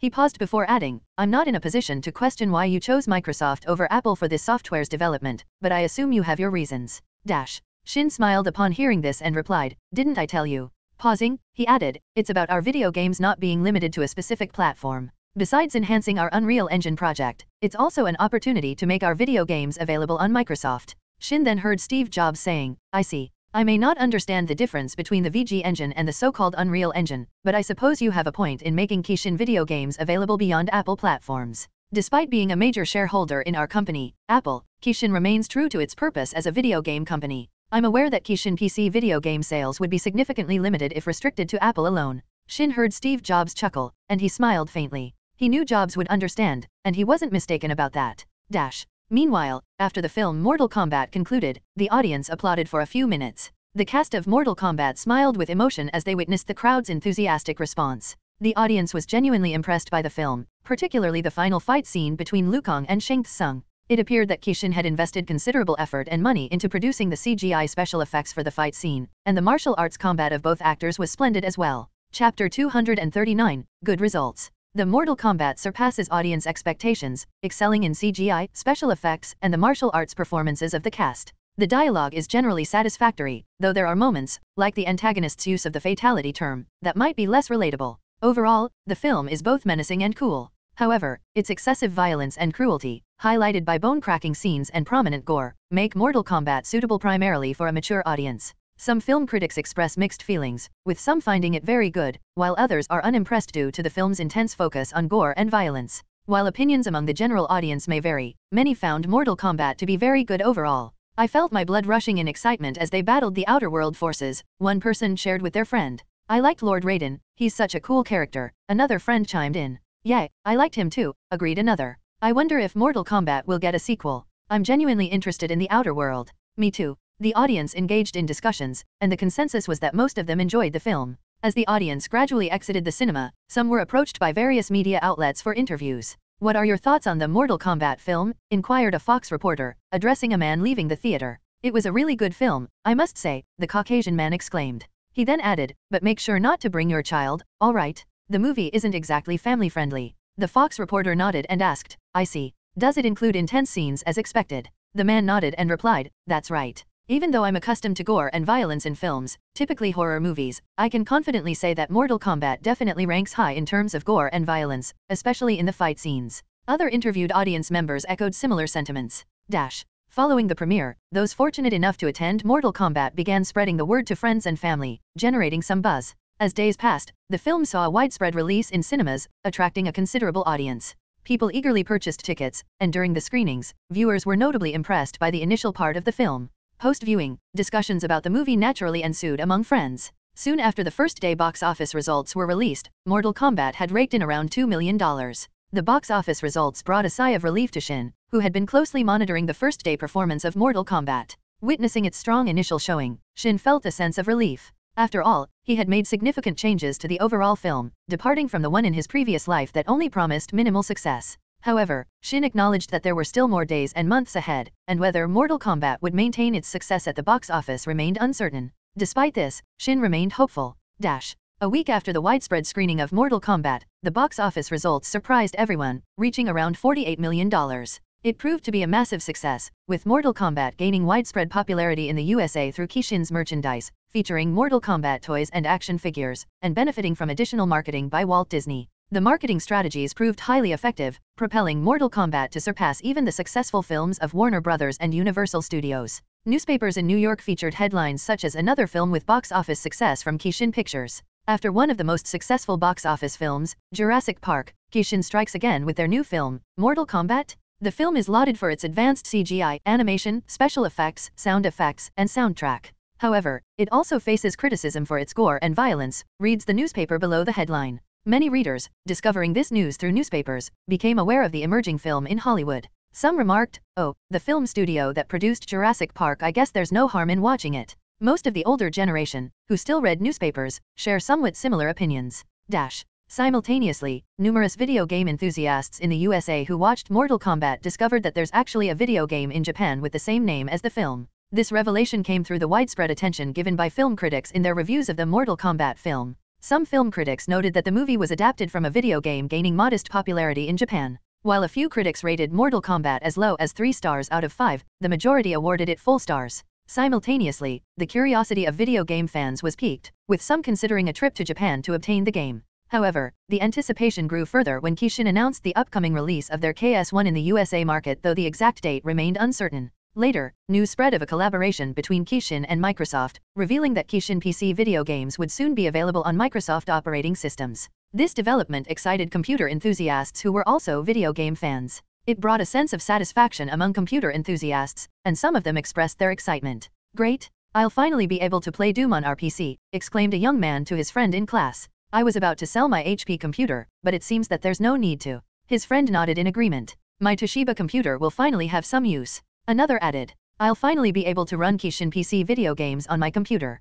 Chapter 240, Warcraft. The collaboration between Kishin and Microsoft caught the attention of several companies. Initially, many considered the idea of Kishin partnering with Microsoft impossible. However, the current reality surpasses their expectations. Kishin and Microsoft? I thought it was Kishin and Apple. Remarked the CEO of Anemos, an emerging video game entertainment company focused on Microsoft operating system. While their games are generally average, a few stand out, ranging from puzzles to side-scrolling and 2.5D attempts. While Anemo's video games may not compare to Kishin's, Microsoft users have had no choice but to purchase most of their titles, given Kishin's exclusivity to Apple. Now that Kishin is available on Microsoft operating systems, the CEO and executives of Anemos are growing concerned. The introduction of Kishin PC games is likely to impact their sales. I thought I could just play video games without worrying about our mediocre titles not selling, sighed the CEO. To be honest, most of the games they've released so far are derivatives of console games, whether from independent companies or giants like Kishin, Tora, and Suzuki, the successes in the console gaming industry.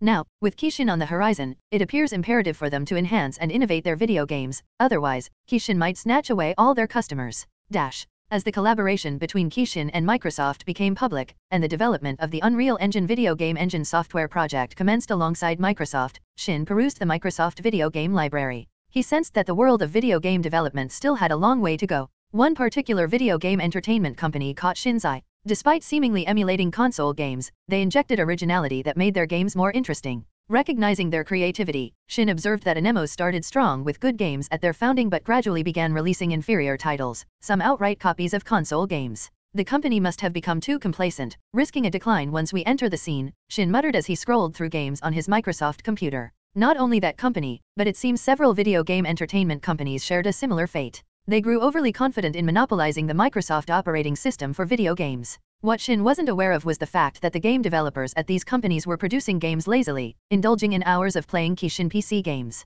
If Shin had known, he would surely recall his previous life's company, where game developers played games for hours and passed responsibilities on to weaker employees, including female colleagues, and the same held true for the weak math algebra, Shin's previous name. Shin vividly remembered how a female employee was harassed by their higher UPS. Although such occurrences were deemed normal in the day-to-day work at that company, Math Algebra was unfortunate to witness a horrific scene involving the CEO and his daughter-in-law, who also worked in the company. While affairs were common, it was Math's bad luck to witness his boss's family affair. Now, as Shin develops video games for PC based on his previous life's company, memories flood back, reminding him of the days at the company. Initially joining as a fan of their games, it turned out to be a hellhole a past he preferred not to revisit. That's why Shin consistently emphasizes in his current company the importance of responsibility, discouraging the passing of tasks to others. He makes it clear that failing to uphold this principle means bidding farewell to his company. Dash. After a week of wide screening success in the USA, Mortal Kombat now began its screening in Tokyo, Japan, marking another milestone for the film.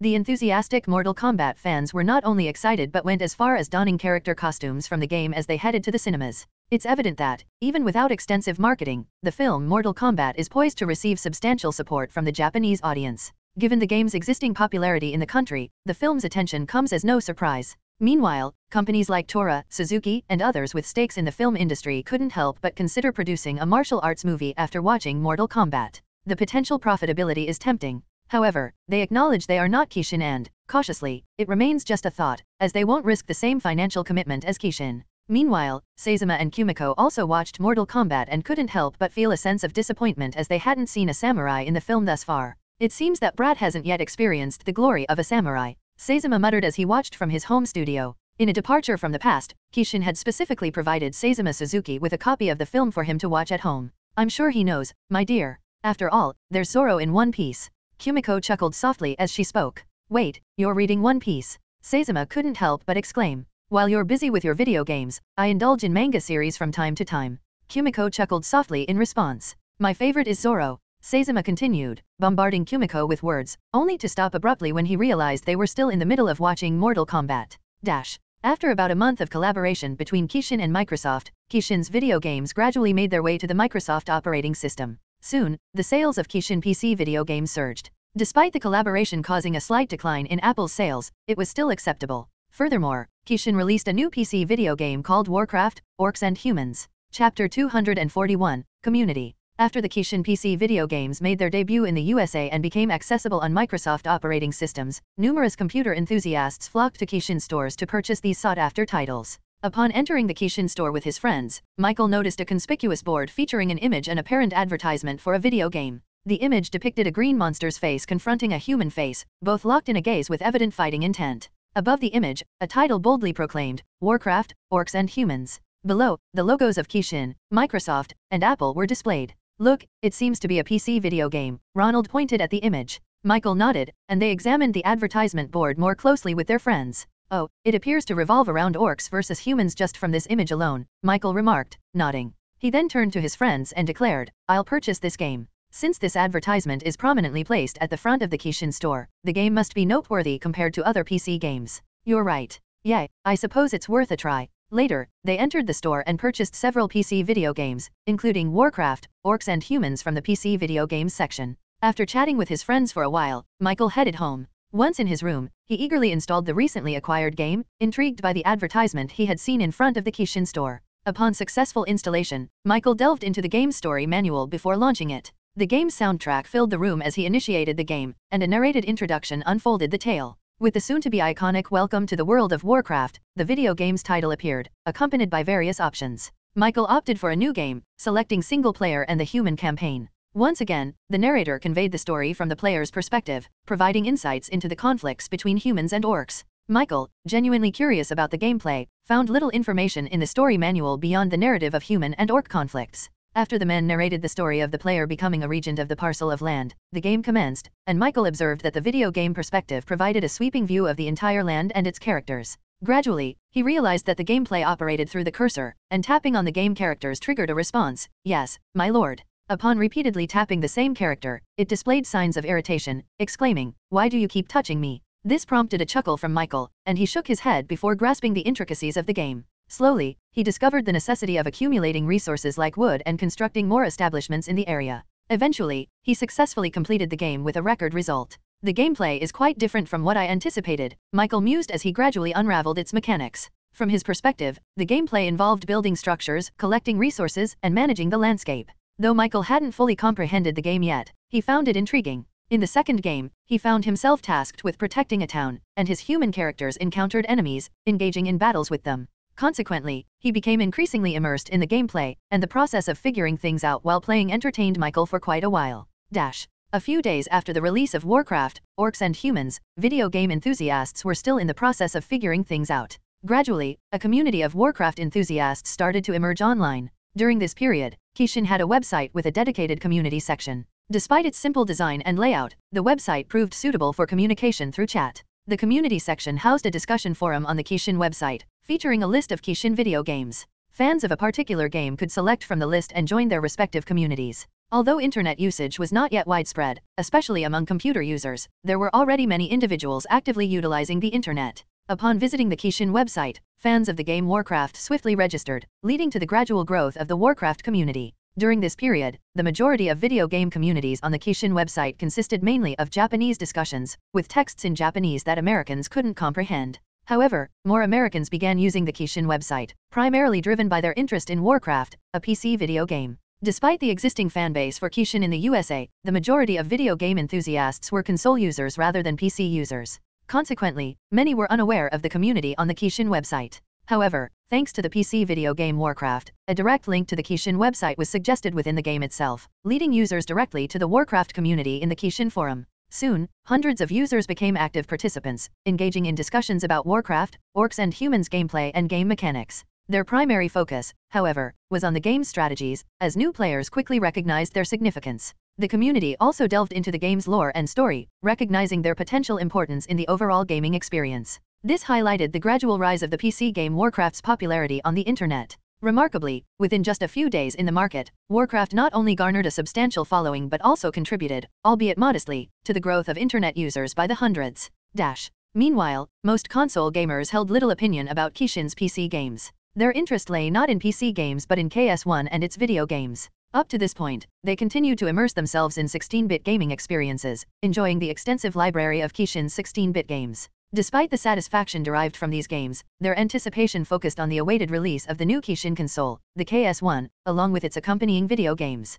As the weeks passed without any updates, some gamers grew anxious about whether Kishin would indeed release the KS1 this year. However, their concerns soon transformed into excitement when Kishin officially announced the imminent release of the KS1 in the USA. Chapter 242, Ridiculous Theory. In November 1994, Joanne Kathleen submitted her manuscript to Rookie Bookstore. Prior to Rookie Bookstore's establishment in the UK, her manuscript had been rejected by several other publishers. This time, Joanne felt a sense of worry as she approached Rookie Bookstore, uncertain about whether they would accept her work. Upon entering the bookstore, Joanne faced the female manager, who appeared to be Asian, possibly Japanese due to her accent. The manager meticulously scrutinized Joanne's manuscripts. Wow, this is truly interesting, the Japanese woman exclaimed. From these scripts alone, I can tell that it's wonderful. Really. Joanne was pleasantly surprised by the manager's reaction, feeling relieved that her work had been well received. However, unbeknownst to Joanne, the Japanese woman had received instructions from the higher UPS not to reject any books related to magic unless they were exceptionally poor. The Japanese woman found herself perplexed about the situation, not fully understanding the reasons behind it.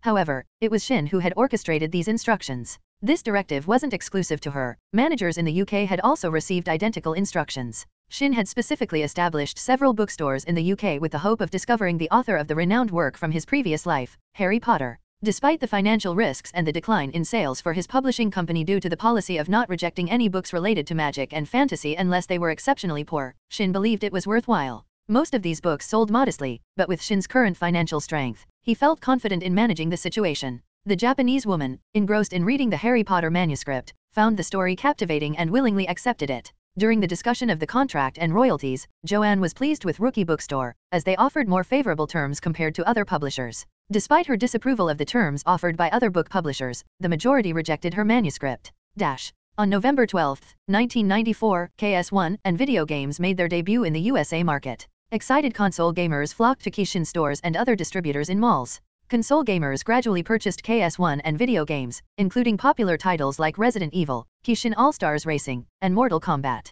Within a few days, these games resonated in the console gaming communities. Particularly, Resident Evil, 1 Rupee, sparked discussions among gamers, prompting them to delve deeper into the game's story and gameplay. The CD cover directed them to the Kishin website's discussion forum for Resident Evil. Upon visiting the website, they found a plethora of discussions in the Resident Evil community, primarily in Japanese. When Americans selected their country as the USA, the discussions switched to English. Although the English discussions were still limited compared to the Japanese ones, Americans were beginning to explore the website and its communities. Dash. Andrea, a young woman who had just played Resident Evil, sat in front of her family computer. She registered on the Kishin website and searched for the Resident Evil community in the forum. Upon reaching the Resident Evil community, she noticed a few discussions had already been posted. She chose the most popular post with dozens of likes, authored by a user named I am Johnny Cage. The post's title intrigued her, What if Resident Evil was an inspiration for real life? Inspiration for real life? What's this supposed to mean? Andrea couldn't help but wonder. Having recently played the Resident Evil game, the image of the zombie turning its head lingered in her memory.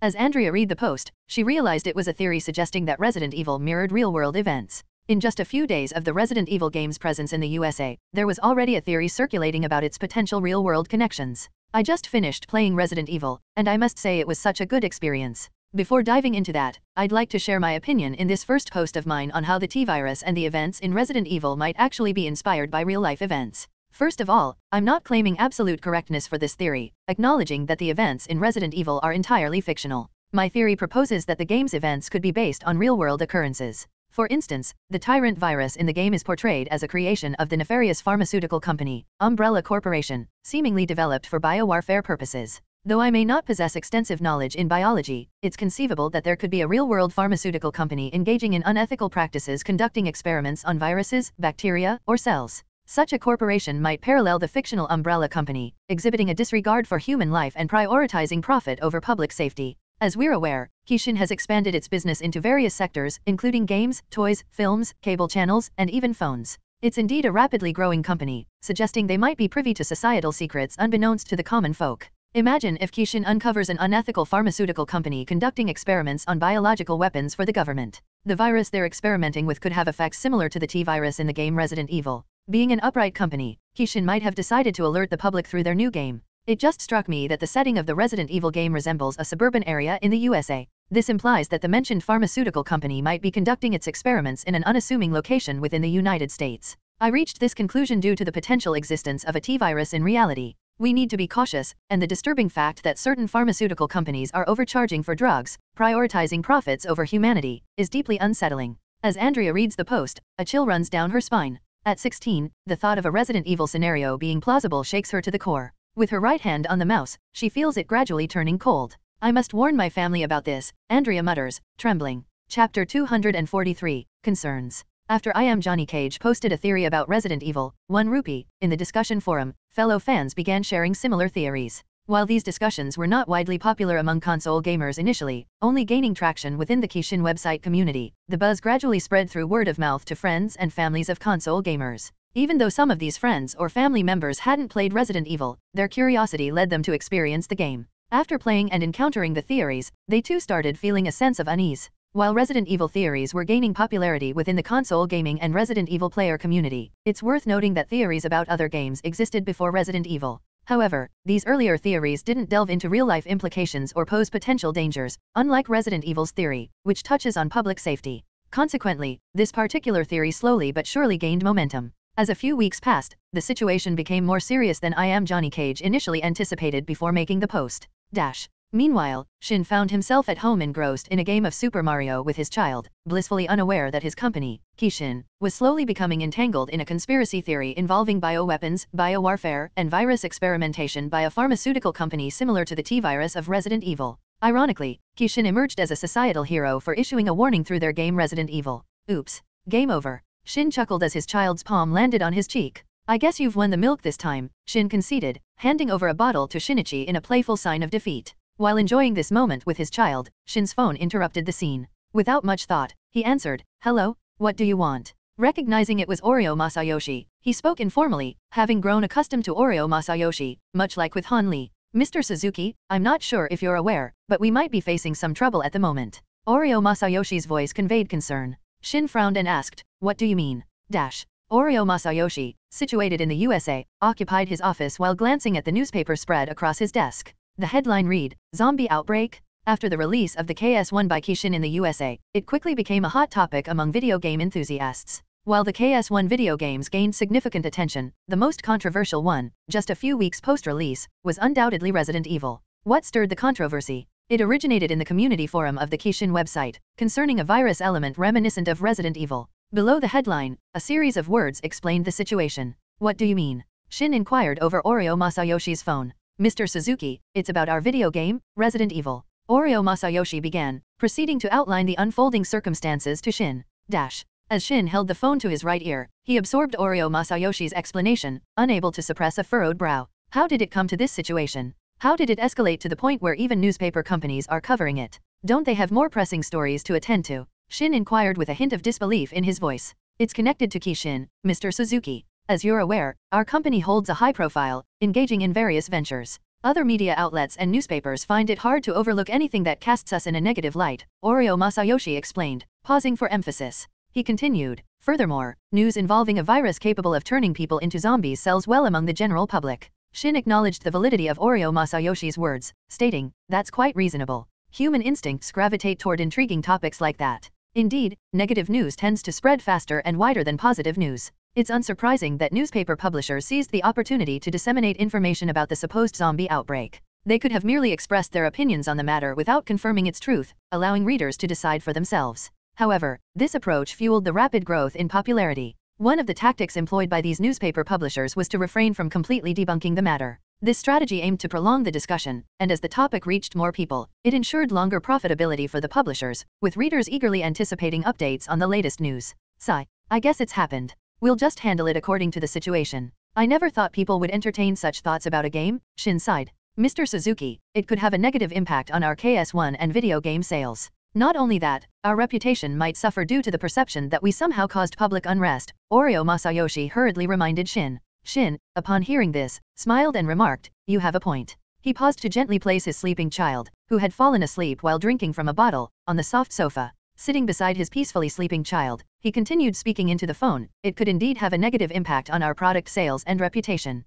However, how it affects us depends on Kishin's reactions. Shin noticed Oreo Masayoshi's silence, briefly thinking the call had ended. Upon realizing it was still connected, he continued, as you know, this zombie outbreak topic is spreading because of these newspaper companies. We're not the cause of this unrest. Moreover, if you're interviewed by the media, don't overly defend yourself, it might raise suspicion. Just speak naturally and avoid showing too much concern. Instead of worrying, let's view this problem as an opportunity and capitalize on the free promotion these newspapers are giving us. Shin chuckled as he spoke. Oreo Masayoshi, hearing this, sighed and eased up. He replied, I understand. Chapter 244 Inadvertent Assistance. The Resident Evil theory has gained widespread attention since its publication in the newspaper. American reactions vary some feel scared, some find it amusing, others think it's foolish, and some remain indifferent. Nonetheless, it has instigated a significant amount of panic, particularly concerning the T-virus. This virus, capable of transforming people into carriers, raises concerns about potential experiments by pharmaceutical companies for biological weapons. This fear extends to those unfamiliar with Resident Evil, especially among non-console gamers. We should urge the government to take action for public safety, remarked a thin elderly man reading the newspaper during a family outing. Oh, come on, Dad. That news is two days old, it's probably outdated, the man in his 30s interjected. Even if it's from two days ago, the possibility of a pharmaceutical company experimenting with such a virus, disregarding human life, is still a cause for concern at this very moment, the old man insisted, dismissing the newspaper issue. Shaking his head, the man in his 30s turned to his wife and children, preparing to set up the barbecue. The old man approached them and cautioned, I warned you this outing could be dangerous. Zombies might be roaming around out there. The man in his 30s and his wife exchanged glances, shaking their heads. You're being paranoid, Dad, he sighed. That's right, Dad. I don't think there's any need to worry, the man's wife reassured. I'm telling you, these are usually the words of people before they get hunted down by zombies, the old man insisted seriously. He added, I couldn't leave you alone, so I joined this outing and brought some weapons we could use later. Zombies, the three children exclaimed, too excitedly while the other showed fear. You're scaring the children, Dad, the man in his 30s shook his head. Let's hunt zombies, Grandpa. Let's go. I'm so scared. Dash. Meanwhile, after profiting from the zombie-related news, the newspaper publishers released more updates on the Resident Evil T-virus, Kishin, and pharmaceutical companies. It triggered a minor public alarm, and the Resident Evil theory found its way to several media outlets. Zombie outbreak? Is it truly plausible? questioned an anchor in front of the camera. He continued, should you prepare a shelter to ensure your safety and possibly your families against this crisis? Let's find out with the coverage from Andrew Ark. The scene shifted to Andrew Ark, standing in front of the camera, who explained, there's news circulating about a virus possibly being developed by pharmaceutical companies that could turn people into zombies. It originated from a horror-themed video game centered around zombies. The coverage on Resident Evil unfolded. Dash. As media outlets continued to cover the Resident Evil theory featured by newspaper publishers, with the news spreading, more and more people gradually became aware of the theory, sparking curiosity, fear, or paranoia. Kishin also came into the public eye due to this situation, as their video game initiated theories surrounding the zombie outbreak news. Some individuals became increasingly wary of pharmaceutical companies possibly experimenting with such a virus. Subsequently, certain media outlets approached Kishin regarding the situation. Kishin's representative, Oreo Masayoshi, responded, We never anticipated that our fictional video game, Resident Evil, would lead to such a situation in this country. Our video game is intended solely for the entertainment and joy of those who enjoy gaming. The fear generated by a theory about our video game, covered by newspapers and media outlets, is not our intention. This response from Kishin emphasizes that their video games are meant for entertainment, disclaiming any intent to harm the public. They attribute the panic among the masses to the actions of newspapers publishers and media outlets. Many people aligned with Kishin's response, believing that the company bears no responsibility for the situation. Due to Kishin's response, media coverage faintly pointed blame at the company in their discussion of the zombie outbreak. There was a subtle suggestion that Kishin, a Japanese company, intentionally caused panic in the USA through the storyline of their video game Resident Evil, set in USA suburban areas. However, this insinuation didn't significantly impact Kishin, as some viewers believed the company was merely issuing a warning and delivering a message to the public. Interestingly, the media's accusations had little adverse effect on Kishin, in fact, it bolstered their sales of KS1 and other video games. Particularly, Resident Evil, the focal point of attention, gained immense popularity, even reaching individuals not typically interested in video games. Although Resident Evil was the catalyst for theories about viruses and zombies, it was the newspapers publishers and media outlets that ultimately propagated the news. This unintentionally led to increased recognition and sales for Kishin in the USA. As a consequence, within a few days, newspaper publishers and media outlets ceased coverage of topics related to Resident Evil and zombie theories. Recognizing that it would remain a hot topic, they refrained from spreading such news. They understood that not only would Kishin be implicated, but the company would also profit from the situation an outcome the publishers and outlets were keen to avoid, especially after Kishin plainly stated that it was the newspapers publishers and media outlets themselves who spread panic through these theories. Dash. Meanwhile, Shin examined the IBM Simon personal communicator. Shin couldn't deny that IBM's attempt at a touchscreen and portable device was commendable, but its exorbitant price destined it for a swift failure, roughly $1,000. It's quite good, but who would spend a grand on this when they could buy a cellular phone? Shin mused while toying with the IBM Simon personal communicator. As he explored the device, Shin received the sales report for Kishin in the USA following the coverage of Resident Evil and zombie outbreak theories by newspapers and media outlets. Upon hearing the report from Oreo Masayoshi on the phone, Shin smiled and remarked, Hehe, we can't thank the media enough for their inadvertent assistance. Oreo Masayoshi responded with a moment of silence. Chapter 245, Sport Games. The surge in KS1 sales resulted from the widespread news about the zombie outbreak, Resident Evil virus theories, and even those initially uninterested in video games developed an interest due to recent intriguing theories and news. While Resident Evil theories first surfaced in Japan, the intensity was not as high as in the USA, where newspapers and media outlets started covering it. Though the possibility of a pharmaceutical company developing a virus exists, it won't be to the same extent as the T-virus in Resident Evil. Despite differing beliefs in the USA, many still thought a T-virus could be possible. Regardless, while discussions and overthinking persisted, it only contributed to the popularity of KS1 and Resident Evil. Dash. The Tora Suzuki Alliance organized a conference room where Idori Tanaka and Tora executives discussed matters with Shoko Suzuki and Suzuki executives. They discussed the negotiation process for the FIFA Association licensing agreement, aiming to adapt their football FIFA sports into a video game. We've heard that Kishin is ahead in negotiating with the FIFA Association for the licensing agreement, an executive stated with a serious expression. It's Kishin. They're planning to exclusively own the licensing rights for FIFA adaptation games. Fortunately, we contacted FIFA expressing our interest before Kishin's negotiations with FIFA were finalized, another executive added. It's a good thing we have Mr. Idori Tanaka to suggest negotiating with FIFA, another executive nodded. Football is the most popular sport globally, so it's not surprising for Kishin to negotiate with the Football Association for licensing with the intention of adapting it into their video game, Idori Tanaka said with a smile. Shoko and Seiki, also in the meeting, exchanged glances, acknowledging Idori Tanaka's competence. In fact, long before Kishin had KES and SKES, they signed an agreement with football associations in Japan for video game adaptations. While Tora and Suzuki had already adapted football video games into their consoles, Kishin aimed to negotiate a licensing agreement with the FIFA Association on an international scale, involving millions of dollars in licensing alone. Tora Suzuki Alliance later joined the negotiations with the same intention of adapting FIFA into a video game in the future. Dash. Upon receiving the report that Tora Suzuki Alliance had joined the negotiations to acquire FIFA licensing rights, Shin smiled. Well, it doesn't matter if Kishin doesn't become the exclusive partner and adaptation provider for the FIFA sports game. Regardless, even if FIFA signs licensing agreements with both Kishin and Tora Suzuki for video game adaptations, it will be a competition to see whose football game quality prevails between Kishin and Tora Suzuki. Besides, FIFA isn't the only organization Shin has Kishin negotiating for sports games adaptations into video games. Did they just forget about basketball and wrestling? Shin muttered as he shook his head. Dash. In Zurich, Switzerland, at the FIFA Association headquarters, a Kishin representative negotiates with the FIFA representative. They negotiate the licensing agreement for video game adaptations, and Kishin also negotiates for the manufacturing of FIFA merchandise with their Kishin merchandise. While FIFA aims to maximize profits by securing agreements with both Kishin and Tora Suzuki, they attempt to raise the price for the licensing.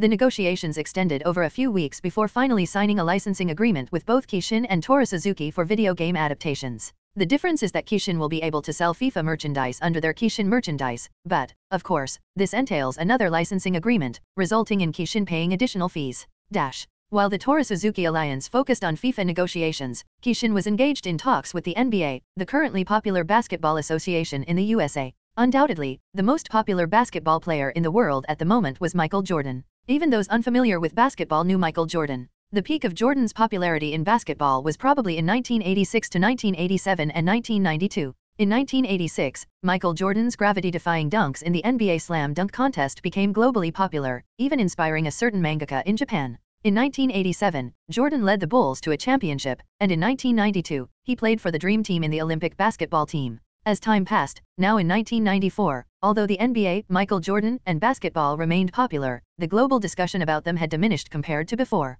With Michael Jordan's retirement, the basketball superstar stepping down from the spotlight, even though basketball remained widely popular and fans continued to follow NBA updates, those less interested in basketball gradually stopped talking about it. Currently, Kishin seized the opportunity presented by this situation. Shin understood that negotiating with the NBA in 1992 or 1993, when Michael Jordan hadn't retired, and the NBA was still hot with Jordan's presence, would have cost Kishin a few million dollars more for licensing rights. However, anticipating Michael Jordan's return in 1995, Shin planned to negotiate an exclusive licensing agreement for video game adaptations and merchandise, possibly extending the contract for a few more years. Until then, even when the NBA regained popularity due to Michael Jordan's return the following year, Kishin would maintain an ongoing contract with the NBA, eliminating the need for renewal. In a few more weeks, while the Mortal Kombat box office success steadily rivaled The Lion King, with screenings in Europe and Asia, the global gross reached about 680 million. Despite some countries banning the film due to its violence and gore, Mortal Kombat still achieved significant success.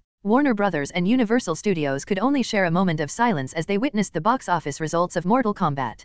Creators' Thoughts Chapter 246 Well played. The Kishin and NBA engaged in extensive negotiations before finalizing their agreement, which, unlike FIFA, hasn't been publicly disclosed yet. Simultaneously, Kishin is planning to negotiate a licensing agreement with WWE. Despite WWE's existing widespread popularity, Kishin merchandise's sales of wrestlers' action figures and toys are thriving. The golden age of WWE concluded in 1993 after a peak from 1980. Despite the end of the golden era in 1994, WWE remains popular. However, this year marked a decline as key stars departed, and factors like alternative entertainment such as video games and the internet affected WWE's ratings and overall popularity. The problem extends beyond what meets the eye, involving internal conflicts within WWE that we don't need to delve into further. Meanwhile, WCW and ECW introduced a new generation of wrestlers. Under Warner Brothers, WCW emerged as a significant competitor in the entertainment industry, posing a challenge to the struggling WWE. Financial constraints added to WWE's difficulties. Seizing the moment, Shinro Suzuki saw an opportunity he dispatched Kishin representatives led by Oreo Masayoshi to negotiate with WWE for licensing agreements, encompassing future video game adaptations and merchandise. On December 23, 1994, representatives from WWE engaged in discussions with Kishin representatives regarding these negotiations. The WWE higher UPS believed they could capitalize on the situation by raising prices, emphasizing past glory and popularity to the Kishin Japanese representatives. Kishimoto Yuki, a Japanese woman in a sleek black suit befitting a businesswoman, adjusted her glasses while listening to the vice president of global licensing highlighting WWE's popularity in the United States. After he finished, Yuki remarked, WWE is indeed popular not only in the USA but worldwide. However, the departure of key wrestlers and the rise of other wrestling tournaments have impacted its popularity. Moreover, WWE's primary audience, the younger demographic, is increasingly turning to video games for entertainment. Upon hearing this, the WWE Vice President of Global Licensing and other executives felt a sense of complexity. It was a valid point, they recognized the growing influence of video games, gradually drawing away their younger audience. Yuki adjusted her glasses, smiling with charm, and added, We are taking a financial risk in seeking the WWE license, hoping to adapt WWE wrestling into a video game with no guarantees of success. However, if our Kishin adaptation of the WWE video game becomes successful, it could boost WWE's popularity. Not only that, but the young audience that initially switched to video games may return to support the WWE franchise once more. Another Kishin representative, alongside Kishimoto Yuki, nodded in agreement, stating, That's right, it's a win win situation for both of us. The WWE Vice President of Global Licensing and the executives exchanged glances, and the WWE representative, appearing hesitant, reluctantly agreed to the Kishin licensing agreement. Kishimoto Yuki, a key Kishin executive in the USA, and the other representatives smiled. With that settled, the signing of the WWE licensing agreement with Kishin was completed in just a few days. Dash. Shin smiled as he watched the cable news on CNN. On the television screen, Oreo Masayoshi and the CEO of the NBA were displaying a basketball jersey together at a press conference. The camera flashed on Oreo Masayoshi's smiling Japanese face.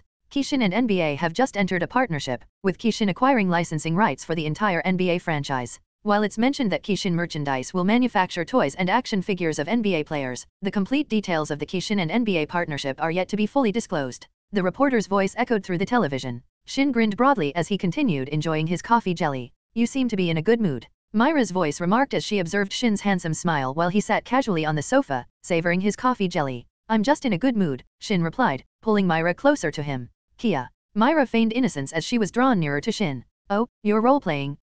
Shin chuckled, playfully teasing. Dash. Meanwhile, in the CEO office at Tora Electronics headquarters, Idari Tanaka studied the report brought in by his secretary with a solemn expression. The Kishin and NBA partnership. Although the official statement mentioned manufacturing NBA franchise merchandise at Kishin Merchandise, Idari Tanaka could discern that Kishin was likely planning to adapt the NBA franchise basketball sports game into a video game. The Tora Suzuki Alliance seemed to have shifted their focus away from basketball, and Kishin capitalized on the situation, now holding the exclusive rights to the NBA franchise license. This left them in a complex situation. Despite recently acquiring the licensing agreement for FIFA, the current top football game globally, basketball was the third most popular sport worldwide. Given the NBA's status as the major association for basketball in the USA, its significance was evident. Now, Kishin had secured the licensing for this crucial association. Damn it, Idari Tanaka shook his head and muttered, it looks like Tora can only pursue an NBA licensing agreement when their contract ends. Simultaneously, Idari Tanaka pondered whether a parody basketball game for their console, currently in final development, could be a viable alternative.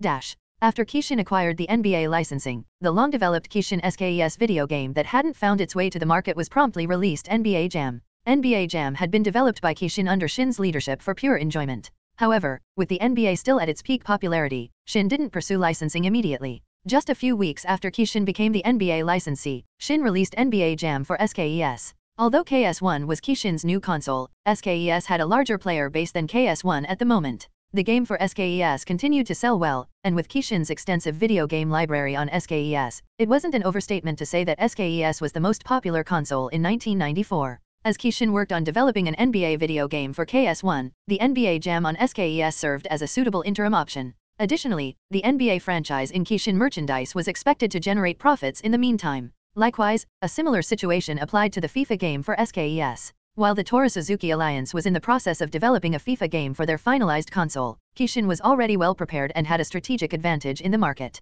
Chapter 247, Virtual Racing. The NBA Jam at SKES gained swift popularity among NBA fans. While some thought its release right after the Kishin and NBA partnership was hasty, many considered it normal for Kishin, the current industry leader, to develop a game so quickly. Kishin, led by well-known game developer Shinro Suzuki, held a prominent position in the gaming circle. Dash. A man, Chris, was engrossed in playing SKES NBA Jam with his younger brother, Lewis.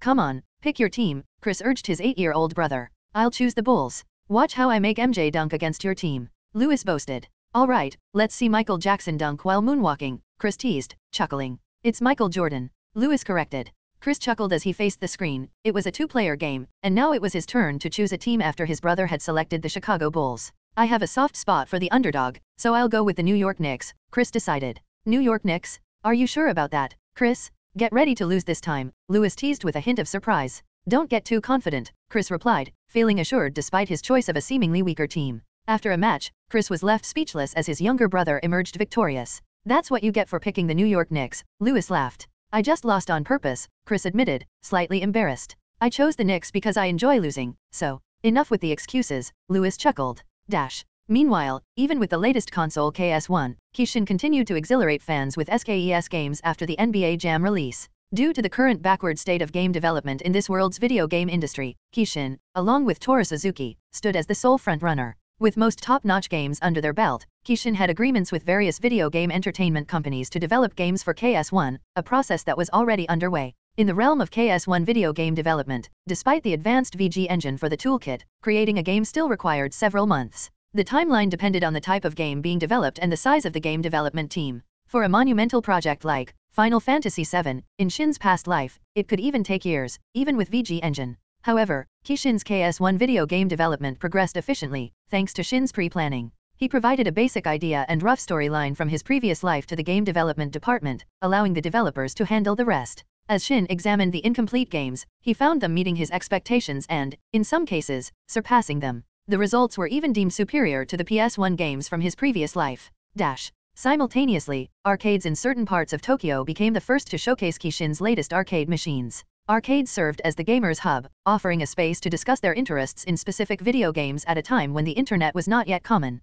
In a particular arcade, gamers engaged in playing video games, watching, or discussing when the latest Kishin arcade machines were being set up in the arcade section. Look, new Kishin arcade machines. I wonder what they are. Is that a steering wheel? The installation of the latest Kishin arcade machines sparked discussions among the gamers. Upon noticing a steering wheel in front of the screen on the arcade cabinet, they speculated it must be a racing arcade. With this assumption, excitement rippled through the group. As expected, once the Kishin video game arcade machines became available to gamers, they eagerly took turns trying them out. They were not disappointed, the arcade was dedicated to racing, specifically the Need for Speed. Remarkably, the graphics surpassed those of KS1. While the Need for Speed arcade was already known, the enhanced controls with a steering wheel and superior graphics of the new racing arcade game were a significant improvement. The design of the video game arcade cabinet featured cars and a word written in both Japanese and English, virtual racing. The name of the video game arcade machines was Virtual Racing.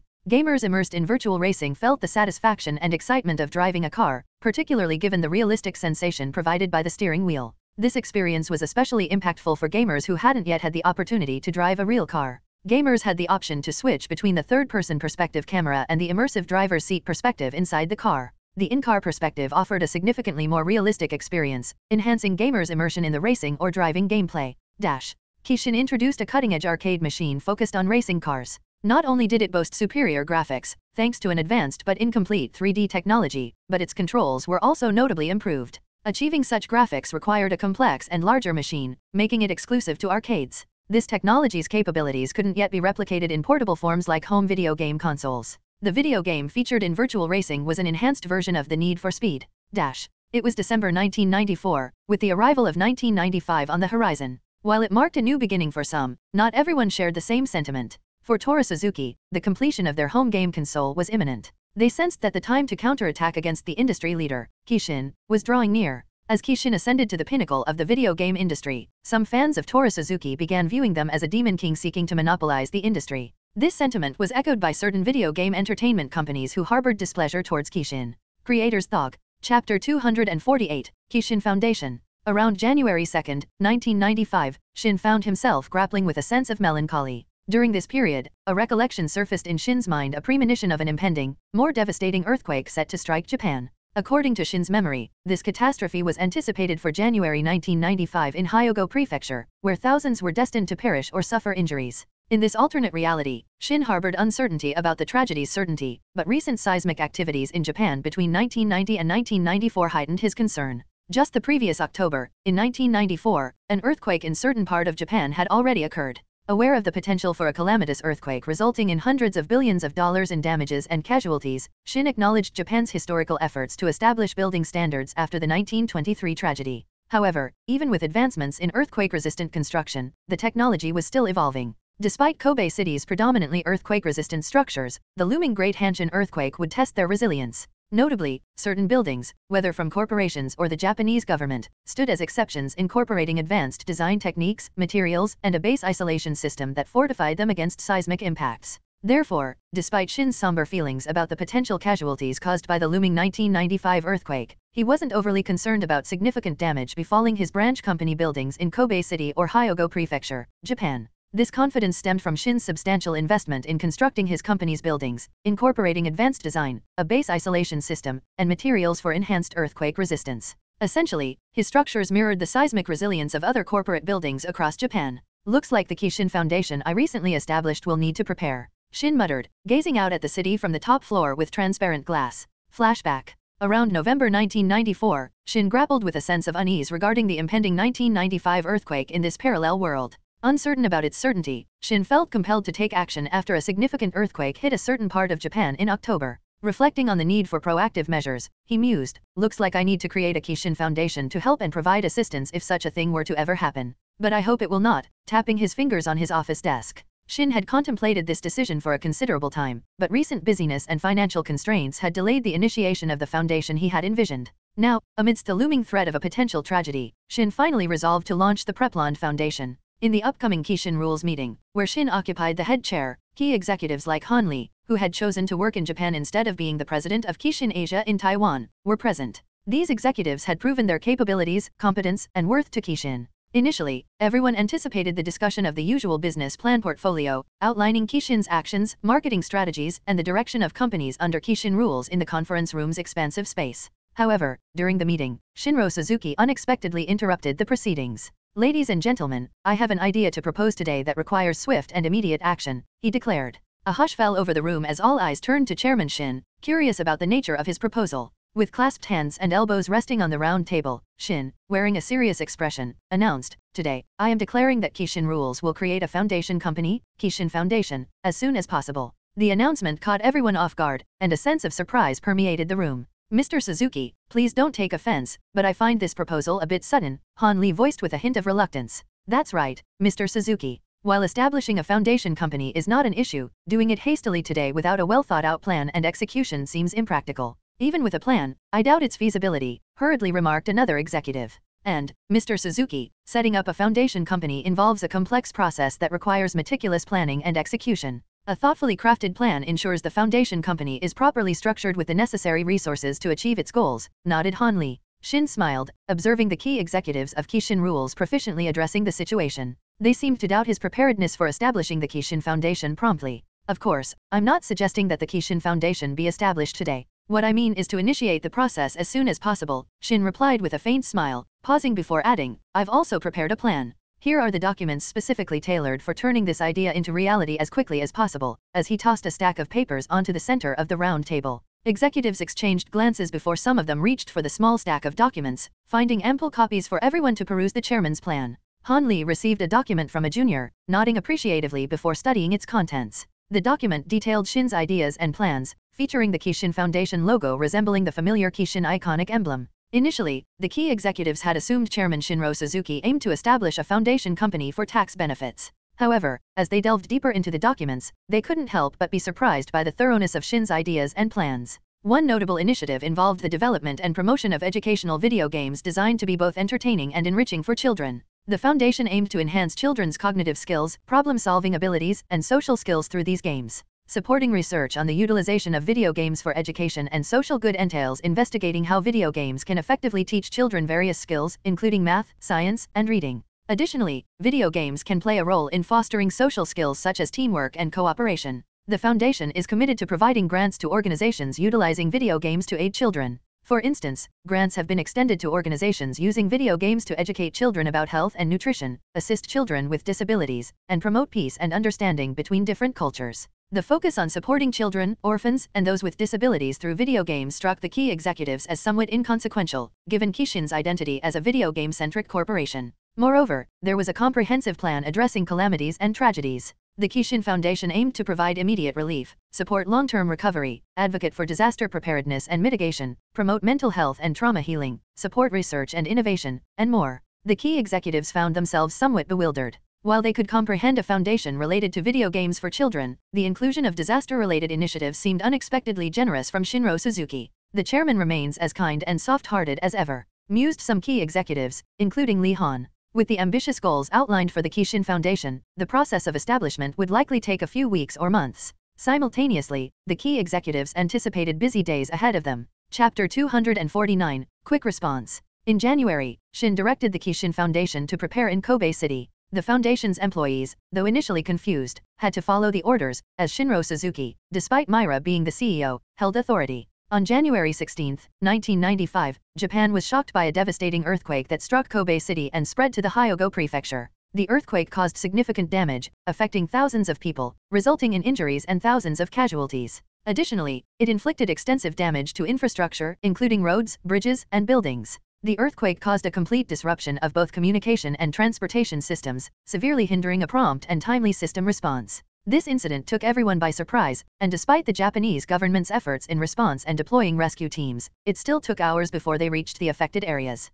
As media outlets covered the situation, Japanese viewers were astonished to see Kishin being the first to assist and help the injured people. NHK, a news outlet, captured the moment when a Kishin Foundation rescue team acted swiftly, providing relief foods and medical assistance to the affected people. I'm currently in Higashinada, where a corporate rescue team acted swiftly to provide assistance, reported Yumi Yamamoto, capturing the Kishin Foundation vehicle on camera. Approaching an injured man, Yumi interviewed him. Despite his devastation, he expressed gratitude towards Kishin Foundation, emphasizing that their immediate help prevented his family from being stuck in their house. Yumi then interviewed a Kishin Foundation rescuer who admitted, This is the first time I've learned about Kishin having a foundation company. Despite my recent awareness, I was surprised by the foundation's quick response. It might be naive to ask, but can you share how Kishin Foundation was able to respond so promptly? With a serious expression, the rescuer replied, Kishin Foundation has highly trained professionals with expertise in search and rescue, medical care, and disaster response. Additionally, we recently established rapid response teams around the city, explaining in a series of words.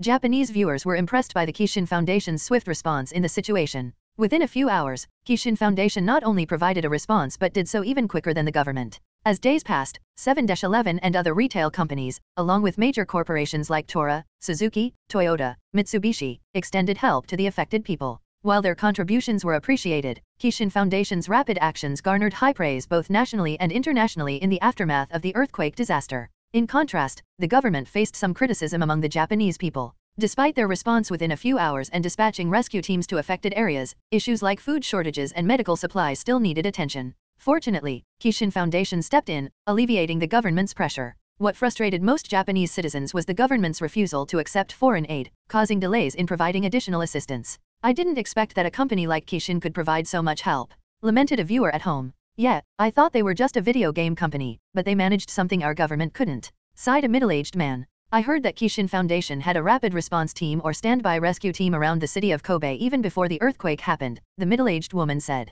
I know. I can say that Kishin Foundation is meticulous and prepared, as if they're vigilant against such situations. Seriously, our government should learn from Kishin Foundation, the middle-aged man nodded as he spoke. If Shin knew what people thought of Kishin Foundation, even comparing it to the government, he would probably shake his head helplessly. Without future knowledge, he would likely be as clueless as everyone else. After Kishin Foundation's quick response, its reputation soared nationally and internationally, with media outlets emphasizing its significant contribution. Other corporations, mostly Japanese companies, received appreciation from both the Japanese government and the people for their assistance. Surprisingly, even the number one Yakuza gang, Yamauchi-gumi, provided great assistance to the affected. Meanwhile, those managing Kishin Foundation couldn't help but think of Shinro Suzuki. It was Shinro Suzuki who emphasized focusing their response rescue teams around the city of Kobe and some parts of Hyogo Prefecture. The managers of Kishin Foundation couldn't help but talk about this. Initially confused about why Shinro Suzuki would order the foundation to set up rescue teams around the city of Kobe and some parts of Hyogo Prefecture, now, a devastating earthquake occurred in the very area where the teams were stationed. The managers felt a chill just thinking about it, and now, they were discussing this remarkable coincidence. Some speculated that Shinro Suzuki might have some powers and sensed the earthquake threat, leading to ridiculous theories circulating among the higher UPS of Kishin Foundation. Dash. The Kishin Foundation has received quite a praise these days. You've founded such a helpful company, Myra said to Shin, who was currently watching the news on TV. Myra, the current Kishin Foundation CEO, possessed a soft and kind heart, aiming to help people through the foundation company. You're right. But you've helped and managed the Kishin Foundation very well, Shin smiled and replied. But I'm quite sad, you know. Many people were affected, Myra tried to smile but couldn't, given the horrible disaster she had witnessed from the helicopter. Sensing the mood getting heavier, Shin remarked, I heard some unpleasant rumors about me and your Kishin Foundation. Myra was a bit surprised but smiled lightly, saying, Who can blame them? It's your fault that you gave orders for such weird things, like the establishment of rapid rescue teams around Hyogo Prefecture that actually managed to save many lives. It's such a coincidence. She paused and then recounted the rumors, mentioning, the rumors of you having some powers. She continued, recounting more and more. Shin felt a sweat running down his back as he heard Myra's recounting of the rumors. Shin chuckled slightly, finding people's imaginations both weird and expansive. Those rumors are just a product of their imagination, Shin said, looking at Myra. Really? I felt they made sense, Myra teased. Don't fool around, Shin shook his head, focusing on watching the TV. Chapter 250, Latest.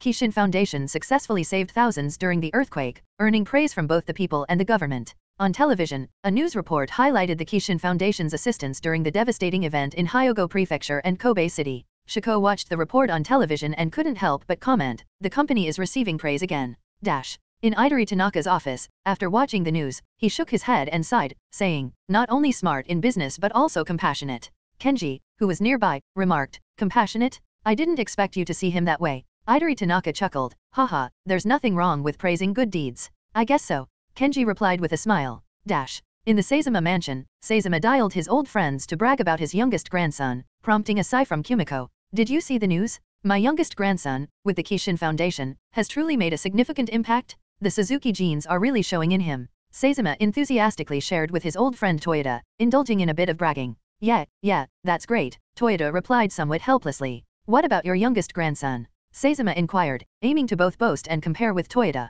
I don't think there's a need to. Toyota hesitated, seemingly reluctant to discuss it. He couldn't bring himself to admit that his youngest grandson spent most of his time at his father's house, watching anime and playing games in his room. Dash. A few months passed after the Great Hanshin earthquake. In the Kishin Rules conference room, Shin, along with the executives, deliberated on the various companies under Kishin Rules. Simultaneously, they discussed the Kishin Foundation's contributions to the areas affected by the earthquake. Thanks to the Kishin Foundation's assistance in the areas affected by the Great Hanshin earthquake, our overall reputation at Kishin companies has risen, and public opinion towards Kishin has significantly improved. The sales of our Kishin Rules subsidiary companies have also experienced a slight boost, an executive reported with a positive demeanor. I never anticipated that our Kishin Foundation would have such a positive impact on both the main and subsidiary companies of Kishin, another executive acknowledged with a nod. It's all thanks to our chairman for establishing the Kishin Foundation, a foundation with the ultimate goal of helping and assisting those in need, another executive added, smiling and nodding. Li Han nodded in agreement and said, Three months have passed since the Great Hanshin earthquake, yet the damage and casualties it inflicted on the people in Hyogo Prefecture are devastating. Shin concurred, saying, while our company's reputation has improved due to the Kishin Foundation, leading to increased sales nationally and internationally, it's crucial to remember that our primary focus is helping people, not just for profit. The executives nodded, exchanging glances, feeling a bit guilty for momentarily prioritizing profits over the welfare of the affected people. Now, enough about that. Mr. Han, how are the negotiations with Samstar progressing? Shin calmly inquired as he looked at Li Han. Li Han leads the negotiation team for Kishin in discussions with the South Korean market. He reported, Samstar is insisting on the same terms as our initial agreement. Shin nodded in understanding, while the executives displayed a slight frown. Kishin had been in talks with Samstar for about a week, discussing the distribution of the KS1 and video games in the South Korean market. With a serious expression, Shin advised, then go ahead and agree to it. Shin was familiar with Samstar from his previous life, knowing the company's significant success. Due to this, he was willing to accept their terms, recognizing the importance of establishing connections with them. While Samstar might not be as large as it would become in the future, its current status as a substantial company with a net worth of about $13 billion outweighed Kishin, still a private company, along with Kishin Rules and its subsidiaries valued at around $8 billion.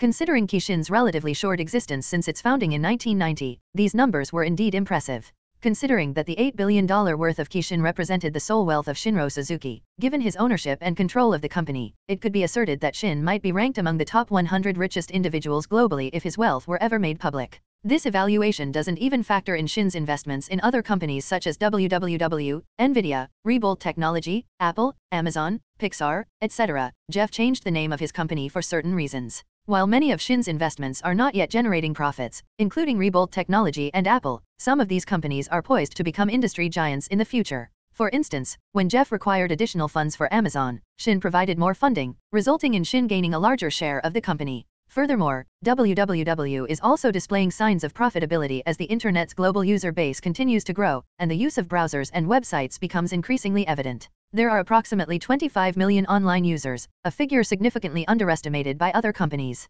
Dash. A few months after the release of KS1, Kishin launched several console games. In February, they released Crash Bandicoot and Tomb Raider. Within a few days of their release, both games were also made available in the USA market. Following this, the Castlevania series was introduced to KS1. Castlevania 3 and Super Castlevania were released for SKES and KS1, while Castlevania, Rondo of Blood made its debut on PC and KS1, supporting platforms like Microsoft and Apple. Simultaneously, PC gaming witnessed significant growth. Many people in the USA, even those without internet access, engaged in online play of Warcraft, Orcs and Humans using Kishin's latest software, Kishin Plays, KP, designed to support game matchmaking. With a required internet speed of 28 kbps, players could engage in basic gameplay with others. Hundreds of individuals had already embraced Kishin Plays, purchasing the software CD from the Kishin store. Many Warcraft gamers were among the first to experience online play, marking the emergence of the first generation of PC online gamers.